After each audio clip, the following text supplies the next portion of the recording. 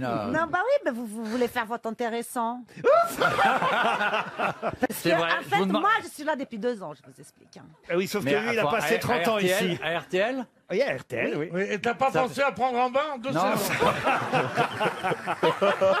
En deux ans, vous parlez un français formidable. hein. c'est, vous savez, vous avez c'est le syndrome de Jeanne Birkin, tu vois, 40 ans en France. Et je t'assure, ça fait tellement plaisir d'être grosse tête.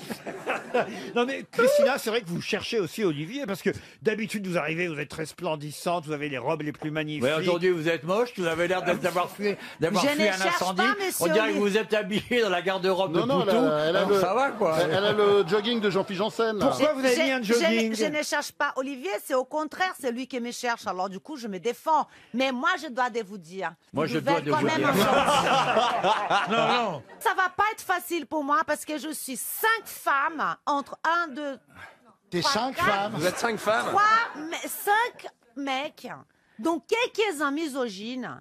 Donc, il va falloir que je me défende. Mais je sais que le public, il est avec moi. Merci. Non mais attendez, c'est pas des manières de faire le trottoir comme ça. Voyez, voyez, voyez, c'est c'est normal. Christina, quand même, vous pourriez au moins donner quelques conseils vestimentaires à Olivier de Kersauzon. Oh bah non, pas dans l'état où elle est habillée. C'est l'hôpital qui suit de la Parce que charité. peut-être vous ne connaissez pas Christina, cher Olivier, mais c'est la reine du shopping et elle peut vous relooker en un rien de temps. Et, et- et- Ah et c'est vrai qu'il y en a un peu besoin quand même entre nous. Franchement, vous avez vu comment il arrive Non, mais re- Ah, t'as- vu comment t'es fringué, toi, alors là, Ah bah non, de mais, quoi euh, t'as l'air, attends. Je veux te dire, moi, les conseils, j'irai les chercher auprès des vraies gonzesses. Pas les trucs avec des cheveux courts et des anneaux, la vache qui rire. Tu laisses tomber. Alors, monsieur, tu laisses tomber, tu laisses si tomber. vous cherchez des Tu laisses conseils, tomber. Moi, je les connais, les vraies gonzesses, excuse-moi, Alors, attends. messieurs, si vous elles, parlent, cherchez- elles parlent la langue de Molière, elles disent pas, je vais, elles disent pas, je vais te sucer, elles disent, je, elles disent, je, elles disent, je- je vais te sucer, mon chéri. Voilà, attends, laisse tomber, laisse tomber, laisse tomber. si vous cherchez des conseils avec des vraies gonzesses, pas des gonzesses vacheries, je pense que les gonzesses qui vous demandent des conseils, elles sont ringardes parce que vraiment, vous, au moins une coupe de cheveux, je sais que vous êtes dans la mer, je sais que vous êtes marin, je sais que, bien évidemment, on est complètement, voilà. hein, Et toi, t'as dans les la cheveux rasés survie, pour 50 taux, Dans là. la survie. Mais au moins, les cheveux, on pouvait faire quelque chose. Elle Mais est bon, déjà j'ai coupée rien avant dit. d'avoir couché avec les boches. Non, non. oh, oh, oh, oh. Oh, Ah, attends, voyez, eh, eh, ça manque de misogyne dans cette piole. Hein. vous êtes d'accord pour qu'on commence par une première citation, Christina Bien sûr, hein, commençons, commençons, il était temps. Il y a une chose d'ailleurs qu'il faut que je vous dise, Olivier de Kersauzon, c'est que vous n'aurez pas de concurrence au niveau de Christina, au niveau des bonnes réponses. Voilà. Parce que c'est pas non plus ce qui la caractérise, on va dire, dans cette émission. Oh ça va, vos gueules là. J'ai jamais craint aucune concurrence, je m'en fous, moi, la bonne réponse n'intéresse personne. Je, ne cher- bon, je cherche quand même à trouver la bonne réponse, mais bon, euh, bah, je trouve pas. hein. Bah, bah, parfois voilà, je trouve, parfois je trouve pas. De toute façon, vous ferez la valise pour nous tout à l'heure, Christina. Voilà, la valise, on rigole. Non, pardon, c'est la je me bonne suis trompé. humeur. Tout à l'heure, vous ferez vos valises valise. pour nous. Puis vous aimez les brésiliennes aussi, Olivier. En plus, vous avez en croisé des brésiliennes quand Ah même. ouais, ouais. Et pas qu'un peu, j'imagine. Ouais, Ouais. Ah, La brésilienne se caractérise par, selon vous Sa grosse bite. Non, sa, jo- sa joie de vivre. Sa joie de vivre Ah ouais, ouais. Ah bah voilà, c'est ça, c'est Christina. Ah oui, si, si, moi j'ai vu des, des- dans des, des boîtes des trucs incroyables. Mais vraiment, une vraie joie de vivre. Une vraie, ah ouais, c'est bien. Mais ça, c'est- ça se caractérise comment la joie de vivre d'une Une brésilienne forme d'exubérance. Je suis allé, même Christina était pas née, je suis allé au Brésil, moi. Ah, voyez, Christina, vous n'étiez pas. Oh, ça, c'est un compliment Oh, qui vous ça, fait. c'est sympa. C'est gentil, oui. Oh là là, bah merci. Ouais. hein. Mais qu'est-ce que tu faisais au Brésil en 1931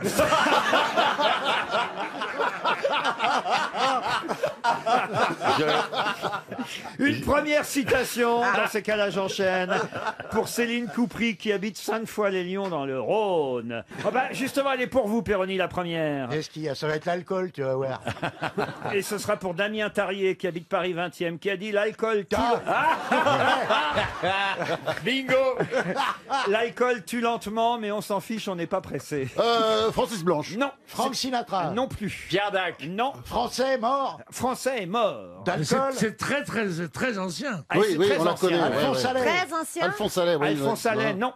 L'alcool tue lentement. Tristan mais, Bernard. Mais non. on s'en fiche, on n'est pas pressé. Pas loin de Tristan Bernard. Mais Charles de Gaulle. Ah, non. Courteline. Courteline, bonne réponse de Jean-Jacques Perroni. C'est bien Courteline.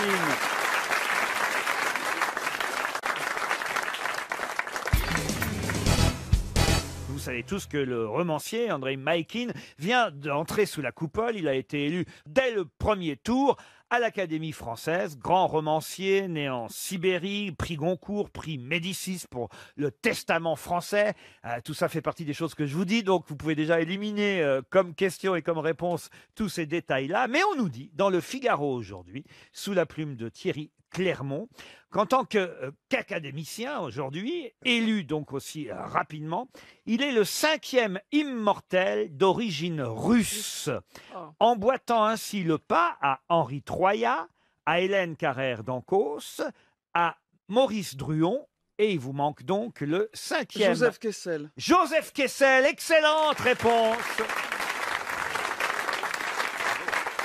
de Roselyne Bachelot. Là, là-dessus, hein, on peut critiquer Roselyne, mais elle est quand même assez Ah, forte. c'est On vrai, elle est respecte, forte, on elle est respecte. forte. Pourquoi on la critiquerait, non Ah, ah non, fran- mais c'est vrai d'ailleurs, pourquoi on la Ah oui, critiquerait c'est vrai. On l'attend, non, elle est sympa. hein. Il y, a, il y a Pierre qui s'énerve, mais je ne sais pas pourquoi, Pour- sur quelque pourquoi chose vous dans le énervez, public. Pierre Parce que dans le public, dans le public, il y a une femme, si Léonard de Vinci l'avait connue, Hmm. il n'aurait pas peint la Joconde, il n'aurait peint Madame, Ah, tellement qu'elle est c'est belle. vrai Elle qu'elle est belle. Et elle a à côté d'elle un mec qui est là, Ben oui. plutôt avantageux, genre comme ça. Et il met sa grosse pogne sur le sur son genou, genre, moi j'ai pas à m'en faire, je suis bien loti. Mais ne crois pas ça. Moi j'en ai vu qui partaient, qui disaient mon Pierrot, délivre-moi de ce gros. Bah écoute, non, sérieusement. Tu me vois avec ma main sur le genou de la divine Bachelot? Je prendrai une gifle immédiatement. Et elle aurait raison. C'est pas sûr, c'est pas sûr. Elle ne demande peut-être que ça, Roselyne. Peut-être pas. hein. C'est vrai Non, elle a pas l'air sûre. Non, non, non, non, Bachelot. Bachelot. Non, je suis obligé de dire non. Non, non, mais c'est un, non, c'est un non, copain non, de Karine. non, non. Tu sais que c'est un agriculteur, le monsieur à qui tu t'adresses. Et alors? Il s'appelle Nicolas, il était dans l'amour et dans le pré, il vient exprès de Nancy quand même. Ah, c'est Il pas vient vrai. Et Nancy. alors, vous êtes rencontrés grâce à. Et la jeune femme, Non. la jeune Bah, femme c'est sa nouvelle fiancée. Mais est-ce qu'elle l'a Et trouvé C'est grâce à toi Bah, je sais pas, demande-lui. Non. Non, c'est dans le courrier Non, même pas. Non. Il Même a-. Ça n'a servi à rien. non, il a, il a emballé après. Non, non, il y a, il y a d'autres maquerelles, hein, tu sais. Ah, c'est élégant. Il y a Gilles aussi Même à côté pas. qui est aussi agriculteur. Enfin, ils ont Ah, bien. lui, par eh, contre, Gilles, il est en chien, là. Eh. Il est tout seul. Ça, c'est c'est incroyable. En tout cas, vous avez tapé dans l'œil de Pierre Bénichou, Ah, elle est très, très- mademoiselle. elle est Non, mais jolie. comment me taperiez-vous pas dans l'œil elle est belle. Vous le savez bien que vous êtes une beauté, Oui. non? Il n'y a que ce gros con qui ne sait pas. non, pardon, Ah, le pauvre il a l'air Nicolas. tellement plus fort que moi. Ah, mais il l'est, je pense. oui. Ah ouais, ouais, Il l'est, il l'est, il l'est, on va voir. Ta femme me plaît, viens qu'on se la gagne. on disait en sortant. C'est ce que disaient, c'est ce que disaient les Apaches en sortant un couteau. Roselyne Bachelot, mais calmez-le. Elle, elle est catastrophée, Roselyne. quelque- C'est parce que j'ai répondu à la question. Elle m'a dit non, elle m'a dit. Eh, c'est la seule. Elle m'a dit non. Ah bah, c'est agréable pour Ariel Dombal qui est de l'autre côté. Elle vous aurait dit oui, elle, alors. Mais non, c'est la seule à dire non. Oui, mais Ariel Dombal vous a dit oui, alors. Non, Ariel Lombard, je ne pense pas qu'elle puisse me dire non. Vous avez raison, vous êtes assez irrésistible. Oh. Voilà, moi j'appelle ça une femme. moi. Karine, elle t'a dit oui. Bon, en attendant, on a oublié la- l'excellente réponse, l'excellente réponse de Madame Bachelot, Joseph Kessel. Euh, Joseph Kessel, que vous avez connu, croisé, rencontré, euh, Pierre Bénichou oui. Ah bah, J'en parle parce qu'il a évidemment euh, travaillé avec Monsieur Lazareff à Oui, oui, je l'ai rencontré dans une boîte de nuit. Et il y avait une table où il y avait Pierre Lazareff, Charles Gombeau, Joseph Kessel, et Gombeau qui me connaissait et a dit à Lazareff, alors que je passais par lui, vous connaissez ce grand journaliste? J'avais 20 ans. hein. Alors il a dit, par la taille, oui. alors j'étais un peu con. Et on a, on a bu des coups, enfin j'ai bu des coups à côté d'eux. Au moment où j'ai demandé l'addition, on dit, non, ça a été Réglé. réglé Réglé. par Monsieur Lazareff. Alors j'étais content, je me suis dit, je connaître, mais il vous a laissé ce qu'il avait de meilleur. Il y a Joseph Kessel qui est venu. Alors il, il faisait le con, ça, il a, il a tout fait. Il a cassé du verre, il, a, il chantait avec les, les- avec les tziganes et tout ça. Le chant des partisans aussi qu'on lui doit ou pas? Oui, avec Non, Maurice je- Druon et Anna Marly. Vous seriez capable de me fredonner le chant des partisans, euh, Pierre Bénichou? Ami, entends-tu le bonheur des corbeaux sur nos plaines Ami, entends-tu le cri sourd du pays qu'on enchaîne Bonjour, vous êtes sur Radio Télé Luxembourg. Non, non, non, non. Non, il y a, il y a- il y a une phrase qui est formidable. Ami, si tu tombes, l'ami, sors de l'ombre à ta place. Vous le connaissez, vous, Ariel? Le chant des partisans Non, non, je dois dire que Ah, il va non, falloir non. qu'on vous mais, donne mais je trouve qu'en Moi, même je temps, connais là, toutes ça, les avec paroles. cette voix pleine de- Ouais. d'un d'un timbre affectueux, glaire. chaleureux, De vin. Ouais. c'est très beau comme ça. Non, c'est des glaires, je crois. hein.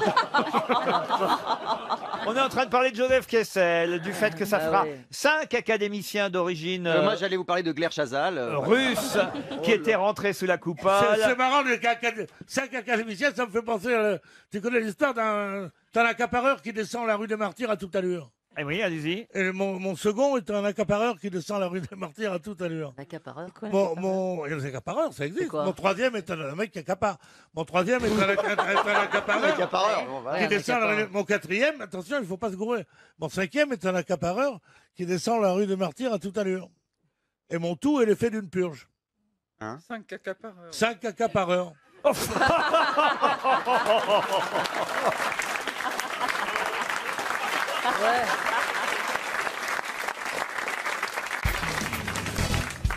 Si je vous parle du topper, de quoi s'agit-il T-O-2-P-E-R.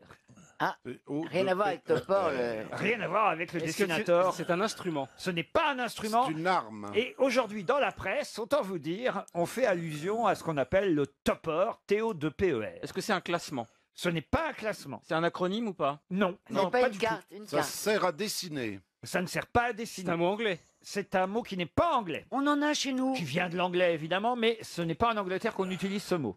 On en a chez nous. Un topper Oui. À notre façon, mais ça s'appelle pas comme ça. La Ça- Tupperware Non. Ça, ça sert à faire la cuisine. Du tout. Non. Vous faites toujours des réunions Tupperware, vous, Ah, Chantal j'aime beaucoup les réunions Ouais. Tupperware. Ah oui, J'ai rac- pas le temps d'en faire, mais j'y vais de temps en temps. Ah oui, ah, où Le ça? dernier, c'était une réunion de moules mous. C'est-à-dire que c'est une Ah. table qui présentait des moules mous. Ah, Pour les cupcakes Des moules mous C'est- quoi ça, des moules Eh bien, le mous moule mou, Bah, c'est demande un à Pierre. Ah, des moules mous Oui Mais pourquoi on dit pas des moules molles Des moules mous Ah, mais non, une moule molle, c'est Christine. Défends-toi, Christine. Elle a un très joli bassin d'Arcachon. hein. Je trouve d'une vulgarité. Il a rien, de pire qu'un homosexuel Bah, vu- vulgaire. Vu la... Des moules mous. Oui, alors c'est un moule mou. Oui. C'est-à-dire que c'est un moule mou. Et alors, vous faites le gâteau et vous l'enlevez avec les mains, il s'en va tout seul. C'est Mais formidable. Quelle copine à vous fait des réunions de moules mous Françoise. Françoise. Oui, Elle a 92 ans. Et elle-même, elle-même est assez très hein. agréable. Elle a rien eu de dur dans les mains depuis 30 ans. C'est pour ça qu'elle a arrêté les réunions sextoy hein, d'ailleurs. Mais c'est vachement bien les moules mous. Ben oui, Parce que tu démoules bien. ben voilà, tu Voilà. démoules bien. C'est pour Parce qu'il est pas démouler. évident de démouler. Ils font les cercueils en Tupperware. Mais vous, vous êtes combien, Françoise? Vous et qui d'autre? Oh, moi, il y a une quinzaine de personnes. 15 personnes 15 pour une ça réunion de marche moules Très bien, tout le monde achète un moule mou. Mais il y, a- il y a un Et tu ascenseur fais pour les aller jusqu'à réunions l'appartement. Aussi. Bien sûr, ben, il y a des réunions. Ah là, c'est Ouais, des ouais, côtes mais- dures, là. Personne connaît les moules mous ici. Tiens, vous voyez, c'est très connu, mais ils connaissent rien. les- Ah bon? Mais vous connaissez Françoise Oh non, t'es dégueulasse. Ah bah c'est normal Ah, t'es pourri. Je vous C'est signale qu'il y avait une question en cours. Moi, je vous laissais parler Ah, de il y vos avait une question Mais oui. Ah qu'est-ce- non, le alors le topper. topper. Le topper TO2PER, il vous reste 30 secondes pour trouver. C'est une marque Ce n'est pas une marque. C'est un objet. On fait allusion au topper aujourd'hui dans la presse. Pour on en a quelle chez raison nous, on en a chez nous sur- Ah sous non, une non, autre c'est pas- façon. C'est pas concret à ce point-là. C'est un concept. Ce n'est- Oui, on peut dire ça en quelque sorte. C'est pas une façon de ne pas payer le cinéma quand le film vous plaît pas? Pas du tout. Eh ben voilà. C'est un truc qui est utile dans la vie, au Oh, quotidien. je sais pas si c'est utile dans la vie, mais je suis surpris que Florian Gazan n'ait pas répondu. J'ai Ah. vu que, vous le savez, dimanche soir a lieu ce match Marseille-Paris Saint-Germain qu'on appelle Ah, chez c'est la nous- lutte pour la première place. Alors non, on appelle chez nous euh, ça le classico. Euh, ça vient évidemment Ah. du classico espagnol qui oppose Barcelone. Même argentin à l'origine. Et oui, et même argentin, vous avez raison, au départ c'est même argentin, El Clasico. Euh, et en Argentine, euh, c'est l'opposition entre le club de Boca Junior et de River Plate. Ah bah oui.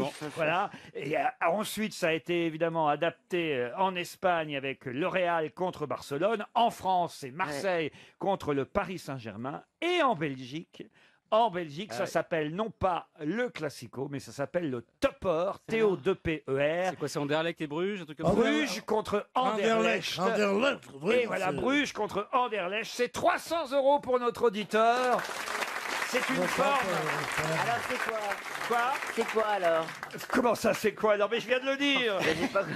Le, Le topper, ça veut dire au sommet top, le top. Ah, Donc, le Ça veut dire deux clubs rivaux. Mais c'est rivaux, ils sont toujours rivaux. Comment Quand ça ils jouent l'un contre l'autre. Oui, mais il y a des clubs plus rivaux que d'autres. Ah, mais non, elle a raison. Mais non Ah, Chantal, mais c'est- elle est logique. J'ai dit ancestralement rivaux. Par exemple, euh, en Espagne, c'est voilà, c'est Ma- c'est Madrid, la capitale espagnole, contre euh, la Catalogne avec Barcelone, donc c'est un Voilà, truc un peu voilà, politique. Chantal. Ah, c'est Et en, régional Fran- alors. en France, Paris contre Marseille, c'est un peu une rivalité qui a été montée de toutes pièces dans les années 90 quand le Canal Plus possédait le Paris Saint-Germain et que Tapi avait l'OM, mais c'était pour faire Dans, monter un tout, peu l'événement, dans, tout, dans tous les pays, vous avez un classico ou un topper, comme ils disent en Belgique, mais généralement on dit classico. Par exemple, même euh, en Algérie, vous avez le classico algérien, je dis ça pour Pierre, ouais, ouais, qui, do- ouais. qui doit se souvenir des matchs entre la jeunesse sportive de Kabylie et le Mouloudia Club d'Alger. Ça, c'est le à, classico. à- à- à- l'époque, à l'époque, le- à mon époque, le Camus était club, gardien le de club s'appelait Club des Joyeusetés ou Gallia Club Oranais. D'accord, eh ben, c'était le classico de l'époque.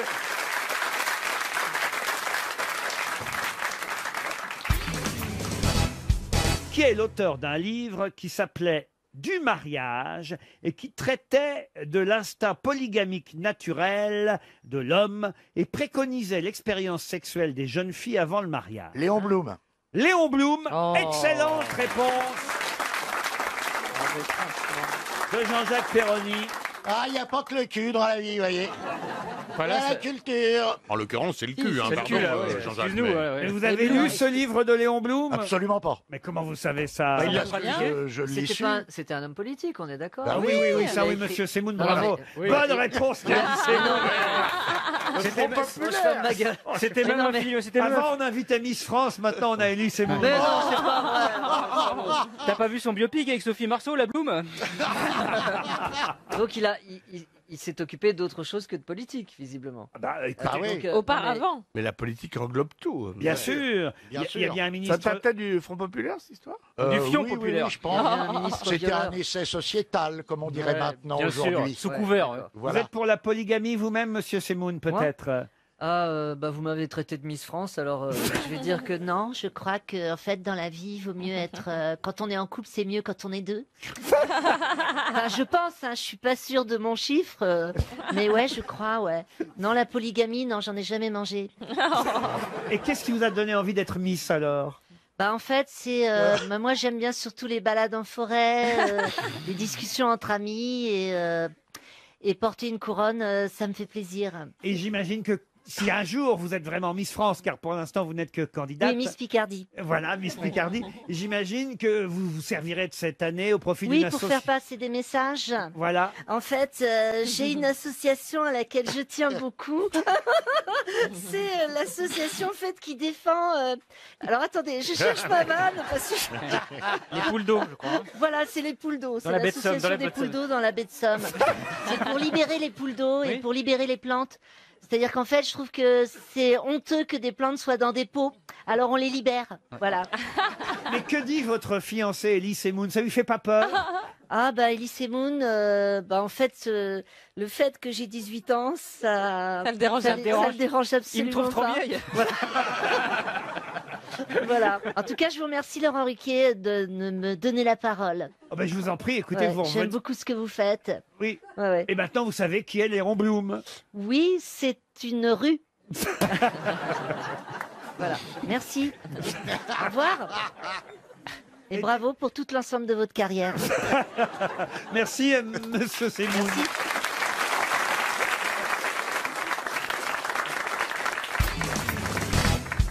Cette question concerne les sacrifiés. Qui sont les sacrifiés au Québec et pouvez-vous m'en citer au moins deux ou trois? Ce sont des Indiens. Des Indiens Non. Des êtres humains? Des êtres humains Oui. Des animaux, peut-être. Céline Dion, Natacha Saint-Pierre. Des sacrifiés, Céline Dion et Natacha Saint-Pierre. Oui, je sais pas. enfin, Non, mais en même temps, vous n'êtes pas si loin parce que c'est vrai que ce sont des noms propres, de- des noms de gens qu'on connaît, que je vous demande de me citer, qui sont des sacrifiés. C'est une famille? Alors, il faut Au d'abord- Québec. faut C'est d'abord- des religieux, des religieux. Des faut d'abord religieux, non. savoir ce que ça veut dire euh, sacrifier dans son acception, là. Exactement, Isabelle. Est-ce que c'est un nom de Euh, famille?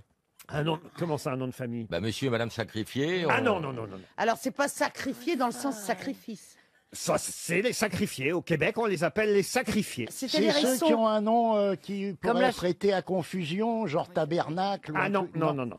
Euh, Non, parce que je vous dis, C'est des gens connus. une fois que vous saurez qui sont les sacrifiés ou ce que c'est, je vous demande de me donner deux ou trois noms de sacrifiés, et ce sont des gens que tout le monde connaît. Comme c'est un chanteur, jeu euh, comme chante euh, Elton John. C'est-à-dire Sacrifice. Sacrifice. Mon Dieu, mon Dieu, mon Dieu. Sacrifice. Eh ben, tu vois, je pensais pas un jour que la gueule de Lady Diana chanterait pour Elton John. Alors, ce Est-ce sont que des c'est- chanteurs Parce qu'elle se l'est pris, le tunnel. hein. Elle a encore le poteau sur la gueule. Est-ce que c'est une corporation? Une corporation, non. C'est des gens qui ont concédé quelque chose dans l'histoire. Du tout. Et ça n'a pas du tout le même sens là-bas que chez nous, sacrifié. Bah, C'est-à-dire que les Québécois ont quelque chose d'assez original qui devrait vous revenir à la mémoire, qui fait que les sacrifiés au Québec, c'est pas la même chose que chez C'est nous. des ou anciens ailleurs. Français Le sirop Non. d'érable. Du sirop d'érable Non, rien Les à voir. églises. Les églises, rien à voir. Des caribous. Non, rien à voir. Non, c'est des individus, c'est des gens. Les sacrifiés, c'est plus que des gens, même c'est encore C'est autre chose. Ah, c'est des stars. C'est des peuples. Ce sont des stars. Pouvez-vous me citer quelques noms des sacrifiés Personne connus au répond. Québec? Ce sont des gens des qui producteurs de cinéma? Des producteurs de cinéma? Non, De mais alors là, showbiz? Ce sont des stars en troisième sont fois. des artistes. on commence à se rapprocher. Alors écoutez, c'est Sont vrai qu'il y a beaucoup de stars Ah parmi... bah voilà, mince alors, il y a quatre fois que je demande. Alors, il y a Chantal, elle pose une toute petite question pourrie, vous répondez? Moi, ça fait trois Une fois question pourrie, les dents mergots. Regarde, moi ça marche. Marche. Bah, t'en Ce sont prends des une. stars, Laurent. Ce Est-ce sont que des stars. Oui, mon petit Jean-Philippe. Ah, C'est des gens qui ont abandonné leur nom de famille Non, Ça n'a rien à voir avec le festival d'humour. du tout. Mais à un moment donné, vous avez brûlé, Les Chantal. producteurs de cinéma les producteurs de showbiz. Alors, de cinéma, on commençait à se rapprocher. Des Showbiz. acteurs, des acteurs. Réfléchissez, on parle Les de... ci- doublures des, des stars Réfléchissez, on parle de cinéma québécois, là, alors. Eh ben, c'est ceux qui parlent anglais. Mais non, mais non. Ah, si, Ceux ceux qui font le doublage. Non, non, non. Ceux qui ont incarné un rôle. Quelle est la particularité du cinéma au Québec? Bah, c'est qu'ils ont un accent. Bah oui. Elle a C'est raison, chiant. hein.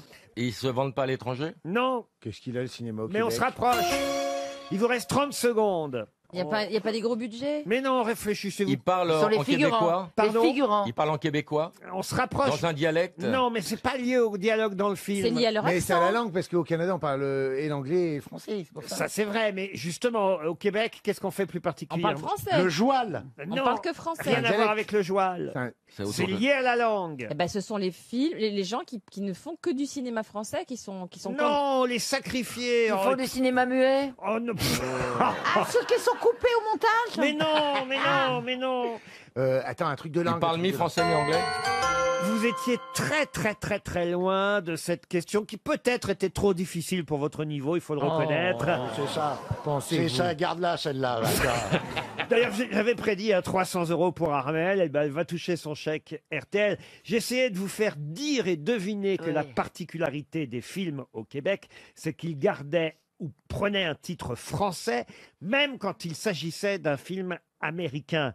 Et Les Sacrifiés, en fait, c'est le titre du film qu'on connaît tous aux États-Unis ou en France sous le nom Les Expandables.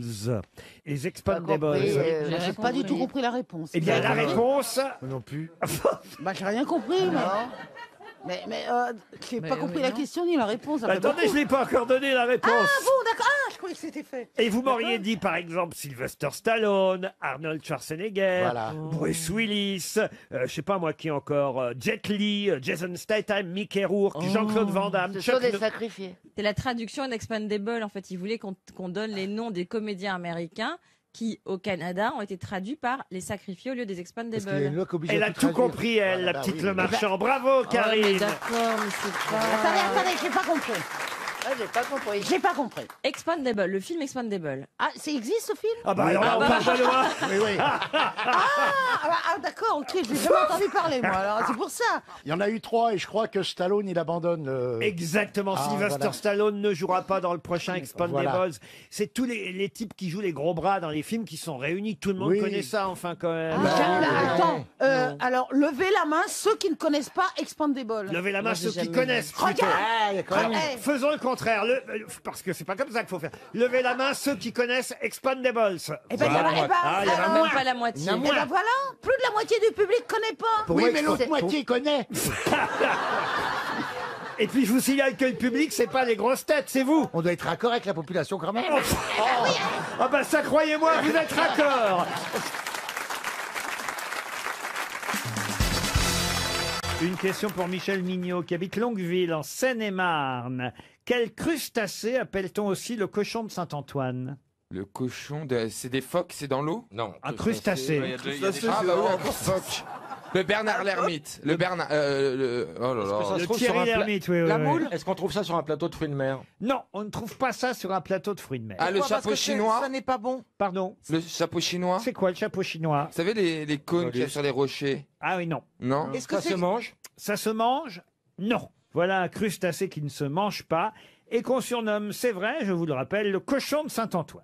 Est-ce qu'il y a le rapport avec le cochon? Il y a le- la queue est en tire-bouchon? Non, non. je- Il y a des pinces. C'est charognard, ça bouffe, Mais alors, euh, ça pourquoi bouffe on les connaît morts ce crustacé? Est-ce que c'est la famille des décapodes, genre les, les, les homards ou les... Pour vous répondre, ce ne sont pas les décapodes, mais les isopodes. Isopodes, famille. oui, parce que ils ont la ISO même- de la même ISO. taille de, ISO, de oui. pied. Isopodes. ISO, c'est les- identique. Il y a un film avec Jean Gabin où il y a... euh, Ah oui, c'est vrai qu'il y a un film qui Oui, porte ce nom-là. Oui, oui, oui. Ah bon? Ah, oui, Oui, parce alors que c'est le seul film, crustacé euh, à ne pas vivre dans la mer, en fait. Oui, c'est le film avec euh, où il y a une grande machine là, enfin où il conduit une locomotive. La bête humaine? Voilà. Oh. Les cloportes. les cloportes Bonne réponse de Laurent Baffy Les cloportes Bravo Laurent. Et Eh oui, il y a un film qui s'appelle La métamorphose des cloportes. Et il faut savoir que les cloportes, qu'on appelle aussi les porcelions, voilà peut-être pourquoi on appelle ça aussi un cochon, euh, enfin un cochon, pas n'importe quel Je cochon. savais hein. pas ça. Ah, ben, non, mais euh, vous ne le saviez pas, mais vous l'avez appris grâce aux grosses têtes aujourd'hui. Le cloporte est un crustacé, Oh là là. mais un crustacé terrestre. C'est le seul crustacé qui ne vit pas dans l'eau, en fait. Vous en avez chez vous, dans les caves, euh, Bah oui. dans les murs, des cloportes. Enfin, si c'est pas propre. Sous les bras. Et on appelle ça le Ah. cochon de Saint-Antoine ou le cochon de cave, le cochon de mur ou le pou de loup. Leur carapace est parfois transparente hein, aux cloportes. Et alors, faut pas les confondre avec les mille pattes. Euh, Pourquoi vous riez, monsieur Pas la même famille. Non, J'en mais sais. les pourquoi, scolopendres. pourquoi on pourrait les confondre avec des mille pattes Bah oui. De toute façon, on sait Parce pas que quoi ce ça sont des ressemble, isopodes, donc, on va les euh, confondre avec rien. Si, t'en as vu des cloportes. Tu vas dans la forêt, tu soulèves un, un rocher. Un rocher, t'as ou- des cloportes. Ou une, une ronce, euh, tu verras une racine, t'as plein de cloportes. J'ai une tête à aller dans la forêt. En tout cas, t'as les tarifs.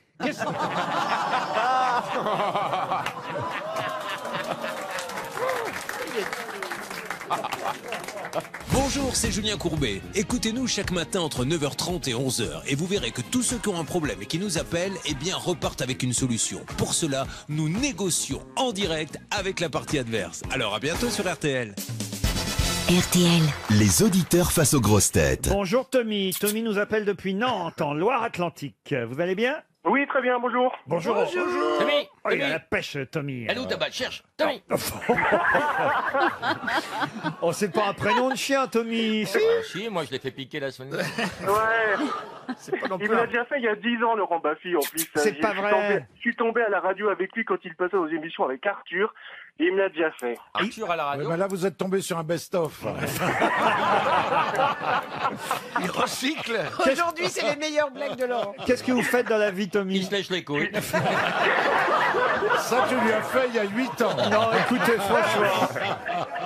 Franchement, Tommy. Bah, si vous pouviez le faire, Laurent, vous le feriez. hein. Je suis directeur d'un magasin de vêtements. Directeur d'un magasin de vêtements pour hommes, pour femmes Pour euh, Pour hommes, chien. femmes, enfants, bébés. Vous êtes prêt, Tommy Oui, c'est parti. Alors attention, on lui laisse 10 secondes d'avance. Cherche. Je, vous- je vous Oui. rappelle, je vous rappelle le Oui. règlement, Ariel. Ah oui, hein. oui, c'est vrai. Ne Il faut répondez, pas souffler. Ne répondez pas trop vite, Ariel. Non, non, non, non. De toute il n'y a pas trouvé, c'est bien clébard. Tommy, si vous avez lu Le Figaro aujourd'hui, vous saurez répondre, car il y a une page entière consacrée à cette actualité. Et on peut dire qu'Erwan, c'est son prénom, Erwan est bien le neveu de son oncle. Mais comment s'appelle-t-il son oncle Et lui-même d'ailleurs, Erwan? Une page entière dans Le Figaro aujourd'hui. Erwan est bien le neveu de son oncle. Mais comment s'appelle son oncle Et lui-même, Erwan? Airbus? Non. Erwan Tabarly? Erwan Tabarly, c'est gagné, Tommy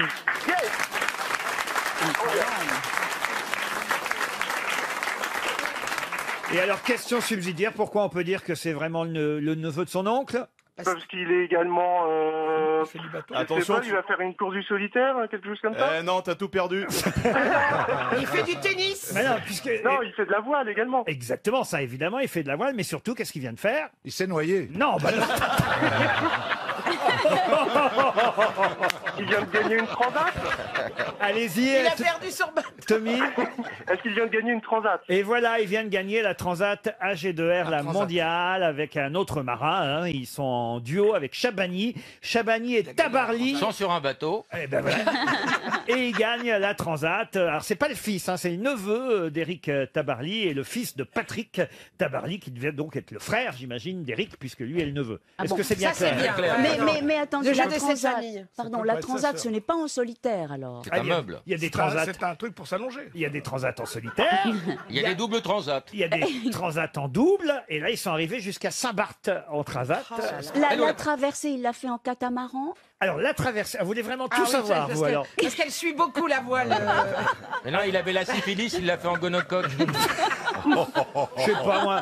Ils sont arrivés dans le port de Gustavia, à Saint-Barthélemy, sur, Oui. sur leur bateau. C'est un bateau. pédalo. Ba- Pédalo. un Il bateau y a à des voile. pédalos électriques Ils maintenant. sont j'ai très vu. bien. Ah oui, c'est pour nous. ça. Alors, vous dire exactement quel genre de bateau alors Ah ben là, pour quand même, c'est sont c'est partis important de- une course où on gagne, Ils où sont on partis traverse Lorient. l'Atlantique, on sait même pas sur quel bateau. Oui, C'est parce qu'il y en a qui, qui le font en effet à la nage, enfin il y a En toutes avion, sortes en de- avion. Ah. Mais qu'est-ce qui se passe, Ariel? Vous êtes un Eh petit ben, peu je- non, mais je- outlaw. Non mais je suis contente de connaître Rebelle. le mot catamaran. Parce que Katachian, il l'aurait pas retenu. Alors, écoutez, si ça peut vous faire plaisir, c'est sur un catamaran, Ariel. Ah voilà. J'en suis pas sûr du tout, mais écoutez, euh, voilà. Et vous, vous êtes trimarante. En tout cas, vous avez gagné, Tommy. Merci. Voilà, vous avez gagné. Alors, je- je- vous, vous sauriez vous dire sur quel genre de bateau c'est, parce que vous savez tout par, apparemment, Tommy. Ben non, j'essaye de regarder, mais je trouve pas. Bah, comme moi, comme moi. Je crois que c'était dans une baignoire. Il a traversé l'Atlantique en sanitaire. Comme quoi, au fond, les articles. Les deuxièmes, c'était Jacob et Delafont. Non, mais comme quoi, les articles sont pas si bien faits, parce qu'elle a, Bah oui. elle, elle a raison, Ariel. Oui. Il y a une page entière Ah oui. Bien sur, sûr. sur l'exploit de Chabani et Tabarly dans le Figaro. Je vais me plaindre auprès de Serge Messager, l'envoyé spécial à Gustavia, parce que sûr. il nous dit tout, mais il nous dit pas sur quel bateau ils ont gagné. Vous avez Oui, raison. Et, et ils ont quand même gagné, mais on ne sait pas sur quel genre euh, de, Oui, de oui. catamaran, trimaran. Vous faites du bateau vous-même, Ariel? Mais j'en ai fait un peu au Mexique. Ah, Tu j'étais sûr. tu Oui, c'était- c'était c'était formidable. Tu Et alors Oh pardon. C'est quoi les cloches? Il y a de l'encens qui va arriver bientôt. C'est votre téléphone qui Oui, c'est sonne, mon Ariel? téléphone. Je suis Ouais, faut pas désolée. qu'elle les oublie cloches de prendre sa Notre-Dame. pilule. Mais qu'est-ce que, que se passe-t-il, Ariel pour la ne pas. pilule. Ah, C'est pas bien ça, Ariel, de une parade Mais non, mais j'avais cru enfin bon. Jusque, J'ai fait le jusque-là, vous aviez été professionnel. Voilà, là Deux mois, dire, pa- bon, deux mois parmi nous et hop, un relâchement. hein. un relâchement. Bon, Pas un réveil. portable, c'est un stérilet suisse. Là, t'as pas le coucou qui sort, il rentre. Vous êtes toujours là, Tommy? Oui, oui, tout à fait. Bah écoutez, on vous souhaite en tout cas un joli séjour là-bas au Prieuré, à Villeneuve-les-Avignon. Vous penserez à Ariel Dombal, au catamaran et surtout à celui qui vous a fait gagner, Erwan Tabarly. Bravo à vous, Tommy. Merci beaucoup. Au revoir.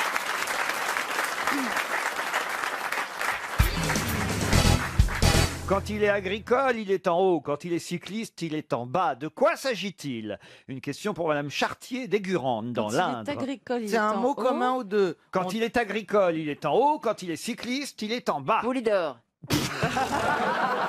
N'importe Mais d'où ça sort ça Le poulidor agricole. Mais quoi poulidor Expliquez-moi. votre- Poulidor, bah, je parce je ne sais que- pas si je vais pouvoir expliquer ma question, mais j'aimerais bien que vous m'expliquiez votre Ça va être réponse. dur de vous expliquer ma réponse aussi. mais je pense que Poulidor était agriculteur, non? Ah oui, et donc quand il est en haut. Eh ben, il est agriculteur dans les montagnes, et quand il est en bas, il court. Ah non, Mais c'est logique, Ah, non parce que, non, non, parce que la nuit dans la ferme, la poule il dort, c'est pour ça. À quel moment de la saison on l'a perdu en fait? Non, Chantal Oui. Fin août. On cherche un adjectif Ah non, ce n'est Non, pas un c'est- adjectif. C'est un instrument, fatalement. Quand il est agricole, il est en haut. Quand il est cycliste, il est en bas. Et ce n'est pas un instrument. Mais et du coup, est-ce que le mot qu'on cherche, pédale. qui est comme Pardon? Une pédale Une pédale. Mais non, elle est partie de. J'aurais dit d'émission. quand elle est agricole, Ah, bien quand- sûr. parce que je ne mets pas toutes les pédales au masculin. Je sais pas, il faut le voir porter, Laurent. Le En vrai- tout cas, est-ce que ça fait, est-ce que ça devient une phrase rigolote quand on trouve le mot? Comment ça? Bah, euh, Turlututu, chapeau c'est pointu, par non, exemple, c'est pour le ça. mot manquant est le même pour agricole et cycliste. On Bien est sûr, d'accord. ça c'est vrai. Bon, Ah. et du coup, ça fait un mot d'esprit. Ah non, pas du tout. C'est une constatation. C'est là, c'est comme Ah, un c'est mot. une vérité, c'est un- Ça d'accord. peut être un mot comme indice ou un truc comme ça. Exactement. Non, c'est Comme un un quoi? Constat et vous pourrez tous oui. vérifier. Quand il est agricole, il est en Le haut. mérite. Et quand il est cycliste, il est en bas. Le mérite. Et donc le mérite cycliste. Ben, il y a le mérite. Il peut y avoir le mérite cycliste, je ne sais pas. Non, Il n'y a pas le mérite cycliste. Le dopage? Le dopage, le dopage agricole, il est en haut, le dopage agricole, il est en bas. Très en haut le dopage agricole. Ah ouais, Ouais. ouais. Le dérailleur? Non, C'est un objet? Ce n'est pas un objet. Est-ce que c'est un, un service? Un service, non. Non. Ça peut arriver, mais euh, normalement c'est gratuit. Euh, Est-ce que c'est quelque chose qu'on a chez soi? Que moi j'ai chez moi, par Tu exemple peux, mais Bah, c'est parfois pas vous l'avez, parfois vous l'avez pas, parfois vous l'avez, parfois vous l'avez Est-ce pas. que ça veut dire que ça mais s'en vous, va et vous ça le- revient Mais ça s'en va et ça revient. C'est fait le tout petit rien. Ça chante, ça chante, ça chante, ça chante, comme une chanson populaire. Vous ne l'avez ni agricole ni cycliste le vôtre, Caroline. Est-ce que Karine Le Marchand peut le trouver plus facilement que nous? Ah bah Karine, euh, elle l'a ni agricole ni cycliste, elle l'a, elle l'a de façon innée. Ah. Le charme Le charme, non. Bah, Je te remercie, non mais je vous emmerde tous. Bah, C'est pour ça que j'ai dit ça Je ne suis peut-être pas belle, mais j'ai On du parle charme. pas de toi, Ça parle grosse, on parle de d'esthétisme. Karine. C'est. Tais-toi la vieille, on parle de Karine. La noire, bien fait. la noire voudrait bien en placer une. Alors, on n'a toujours pas compris de Est-ce quoi il qu'il- s'agit. il s'agit d'esthétisme Quand il... Ah, c'est lié à l'esthétisme et d'ailleurs, dans un cas comme dans l'autre, ça n'est pas forcément esthétique. Il reste 30 secondes. Ah, une ah, bah, c'est pas un prix Comment Si ça c'est un prix. Le prix. agricole et le prix cycliste. Bah oui, bah et oui. pourquoi parfois il est en haut, pourquoi parfois il est en bas Ah, ça, j'en ai rien à foutre. alors. Ça n'a Est-ce que- rien à voir. Est-ce que c'est quelque chose qui monte et qui descend Comment ça, quelque chose qui monte et qui descend Comme par exemple le mercure dans un, mer- dans un thermomètre. Ah ouais, ouais. Ça monte et ça descend. Ah ouais. Et vous, vous montez au mercure pour quel prix Écoutez, à partir de 500 euros, je suis très accueillante. en haut comme en bas. Ça reste... ça reste cher pour ce que c'est. hein.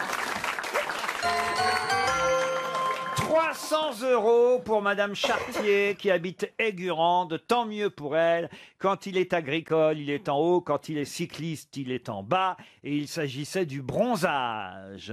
Le bronzage Oh là là. cycliste ou le bronzage agricole. Ah oui, Ah, bien sûr, elle, a raison. Eh oui, le bronzage. Cycliste est le pire. Euh, c'est le pire. Oh, c'est le pire. C'est la petite manchette, donc c'est l'avant-bras Mais c'est le bras bronzé, aussi du haut. la petite bout de cuissette, non, genou. c'est surtout les jambes. Ah les non, cuisses, les les bras cuisses. aussi. Bah, ça dépend. Oui, les La cuisses, les question, mollets. alors, était quand même limite, parce Ah que oui. les, les bras des cyclistes sont un Ah peu oui. bronzés quand même. Pas s'ils ont des manches longues. Ainsi que le visage. Oui, mais c'est rarement, ils ont rarement des manches longues en plein été. Ah oui. C'est comme ça. Écoutez, c'était la question. Je- ne veux pas dire. J'ai j'ai quand même, j'ai quand même suivi le Tour de France deux saisons consécutives. J'ai rarement vu des mecs en manches longues dans le Tourmalet. Si, Pas, vous les parfois, avez ils vus, ont les comme mecs, un en Si, si, quand, quand il fait mauvais, quand il fait mauvais. Mais Non, mais qui fait mauvais. mais t'imagines l'agriculteur qui fait du cyclisme, le bronzage de merde, Ouais. qu'il a c'est un, c'est un zèbre le mec. Ils sont, ils sont souvent Non, mais vous reconnaîtrez quand même que les cyclistes ont plus les jambes qui bronzent. et, et, et, et- et les bras. les bras. Oui, mais les, les, Et les, le visage. les agriculteurs, eux, ils ont que les bras qui bronzent. Ou le non, torse. parce qu'ils ont le Marcel. Oui, mais ils n'ont pas les jambes qui bronzent, Si, les il y en a en agriculteurs. Non, il n'y a pas d'agriculteur Ah, en si, moi, C'est une connais des professionnelle qui vous le dit. Ah non, non, l'agriculteur, il se protège toujours les jambes. bah oui. Bah non, mais non. Si, dans le Ah, si. tracteur, il a les jambes protégées. Mais vous comprenez ce que la Oui, question mais la, veut la dire. question, la question n'est n'est pas très. Non, la euh, question est bizarre. Elle est bancale, je dirais. Bah, voyez. en tout cas, quand on est demandé si c'était quelque chose qui était gratuit, par exemple, le bronzage, il est gratuit à l'extérieur et il est payant quand vous allez bronzer C'est vrai. dans un Ah, institut de bronzage. Il est inné chez Karine Le Marchand, ça. vous pouvez- Maintenant, je comprends. Vous pouvez pas dire le contraire. Et il est beaucoup moins inné chez moi, vous avez entièrement raison. Ah oui, oui, vous, alors là, vous êtes bronzé. euh, Comme un Moi, il y a cul. du blanc de Comme un poulet cul. partout. Comme un cul. Il existe le bronzage agricole, Karine, vous êtes d'accord? Ah bah ça c'est sûr, ils se protègent pas le- la peau, ils sont tout le temps dehors. Elle est un peu tirée par les Et cheveux. quand vous les voyez nus, vous voyez bien qu'ils ne sont pas bronzés? Je ne les ai jamais J'espère que vus. quand tu les vois nus, ils se protègent. Je ne les ai jamais vus nus. Ah c'est vrai? Oh bah ça vaut pas le coup alors. Ça alors? La personne qui m'a dit, viens, viens voir derrière la grange à Corinne que je vais t'arranger un petit coup. Non. Ceci dit, c'est vrai qu'il y a quelques années, il y avait, un- il y avait le père d'un agriculteur qui boitait un peu. Et je lui dis, euh, oh, mon... il avait 82 ans, je lui dis, oh mon pauvre monsieur, vous avez mal à la jambe. Il me dit, j'ai la jambe droite qui est raide. Puis il s'arrête et il me dit, celle de milieu aussi.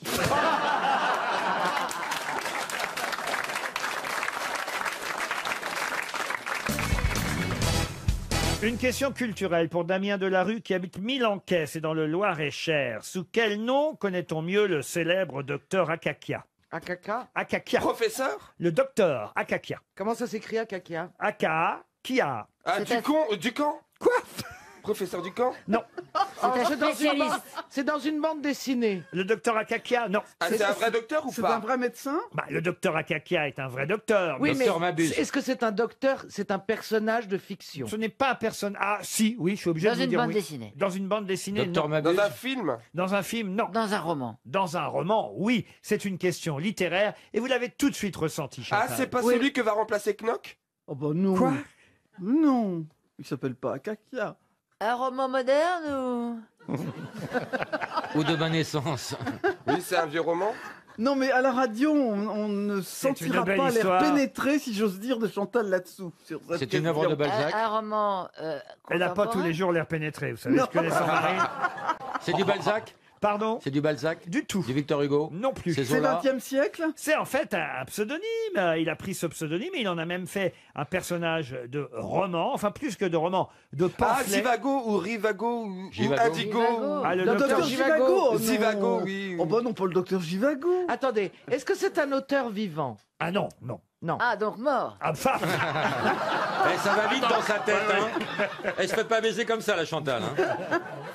Je peux même vous donner le titre exact du pamphlet, un diatribe du docteur Akakia, médecin du pape. Ah, professeur Choron? Non Ah bah c'est le médecin du pape. Comment ça? C'est le médecin du pape. Non, c'est C'est un dans- roman c'est que une je œuvre. vous dis. Ah, c'est un roman. Une œuvre, pas un roman d'ailleurs, un pamphlet très C'est exactement. pas Aristote. Donc c'est le pamphlet d'un médecin, on cherche le vrai nom de ce Mais médecin. non Non. C'est un pamphlet d'un écrivain dont le personnage s'appelle le docteur Ah, Akakia. d'accord. Il se sert de ce docteur pour écrire des méchancetés, pour un pamphlet, vous voyez, C'est c'est un pas pamphlet. euh, Un Louis Ferdinand pamphlet. Céline Oh, Céline, non. Donc on cherche Dumas. l'auteur. Dumas, non. Bah, peut-être essayer le siècle au moins. Molière Molière, non. Ben non, 16e. eh, le 20e siècle, ça nous sert à rien. Il y a Roselyne Kigel à chaque fois. C'est qu'on donne un 20e nom. siècle Pardon C'est 20e siècle 20e siècle, ah non. Ah non, Oh non, 19e. oh non, 15e. 19e 19e. Non, à mon Ah. avis, c'est 18e. Ah, non plus. 18e 16e. Alors, 13e. 16 et 17. 15e. 17e. Ah, voilà. 17e. 17e. Alors c'est Voltaire. Et c'est Voltaire. Bonne Ah, bah, réponse. Voltaire au 17e Bah oui. Pas 18e d'ailleurs, j'ai dit 17e, c'est 18e Tiens, Voltaire. Ah oui, c'est pour ça, Voltaire au 17e. je je l'avais fait remarquer, je vous signale. Bah, il est né à cheval, de toute façon. Pardon? Il, a, il a vécu Il un est peu. pas, pas- il- c'est difficile de Il était à à cheval. hein. non? Non, il était pas à cheval, non, non, il était vrai en plein 18e. euh, Mais Ah ouais, en pas- 1700, voilà, évidemment, il y a toujours cette confusion. Ah pas bah, grave. 1700, c'est le 16e. alors que c'est le Pardon? 17e. Ah bah dix- 1700, c'est... C'est le 18e. C'est c'est le 18e. Non Bah si. Attends. Bah non. Mais Bah si. non. Arrête, tu vas Si, signer si, du nez, réfléchis non. pas. On te la cherche, t'inquiète pas. On ne change pas de siècle la Oui, première année. d'accord, mais ok. C'est pour Tu ça as que... compris ce que j'ai dit. S'il est né en 1700... Non, Il n'est est pas né- en 1700, dans les années 1700. Professeur Rollin, c'était pour vous cette question sur Voltaire tout de même. hein Oui, oui. Bah oui, là franchement, vous laissez Mme Bachelot marcher sur vos Ah bah plates-bandes. oui, c'est sûr. Ben ouais, Tu mais le vous avez savais dit- sûrement. vous avez dit oui Mais à ça t'a pas 17e. été assez rapide. Où j'ai dit 17e et c'était 18. euh. Ah oui, Ah oui, bon, oui, enfin bah. écoutez, oh, maintenant si on fait de l'à peu près à un siècle près. euh,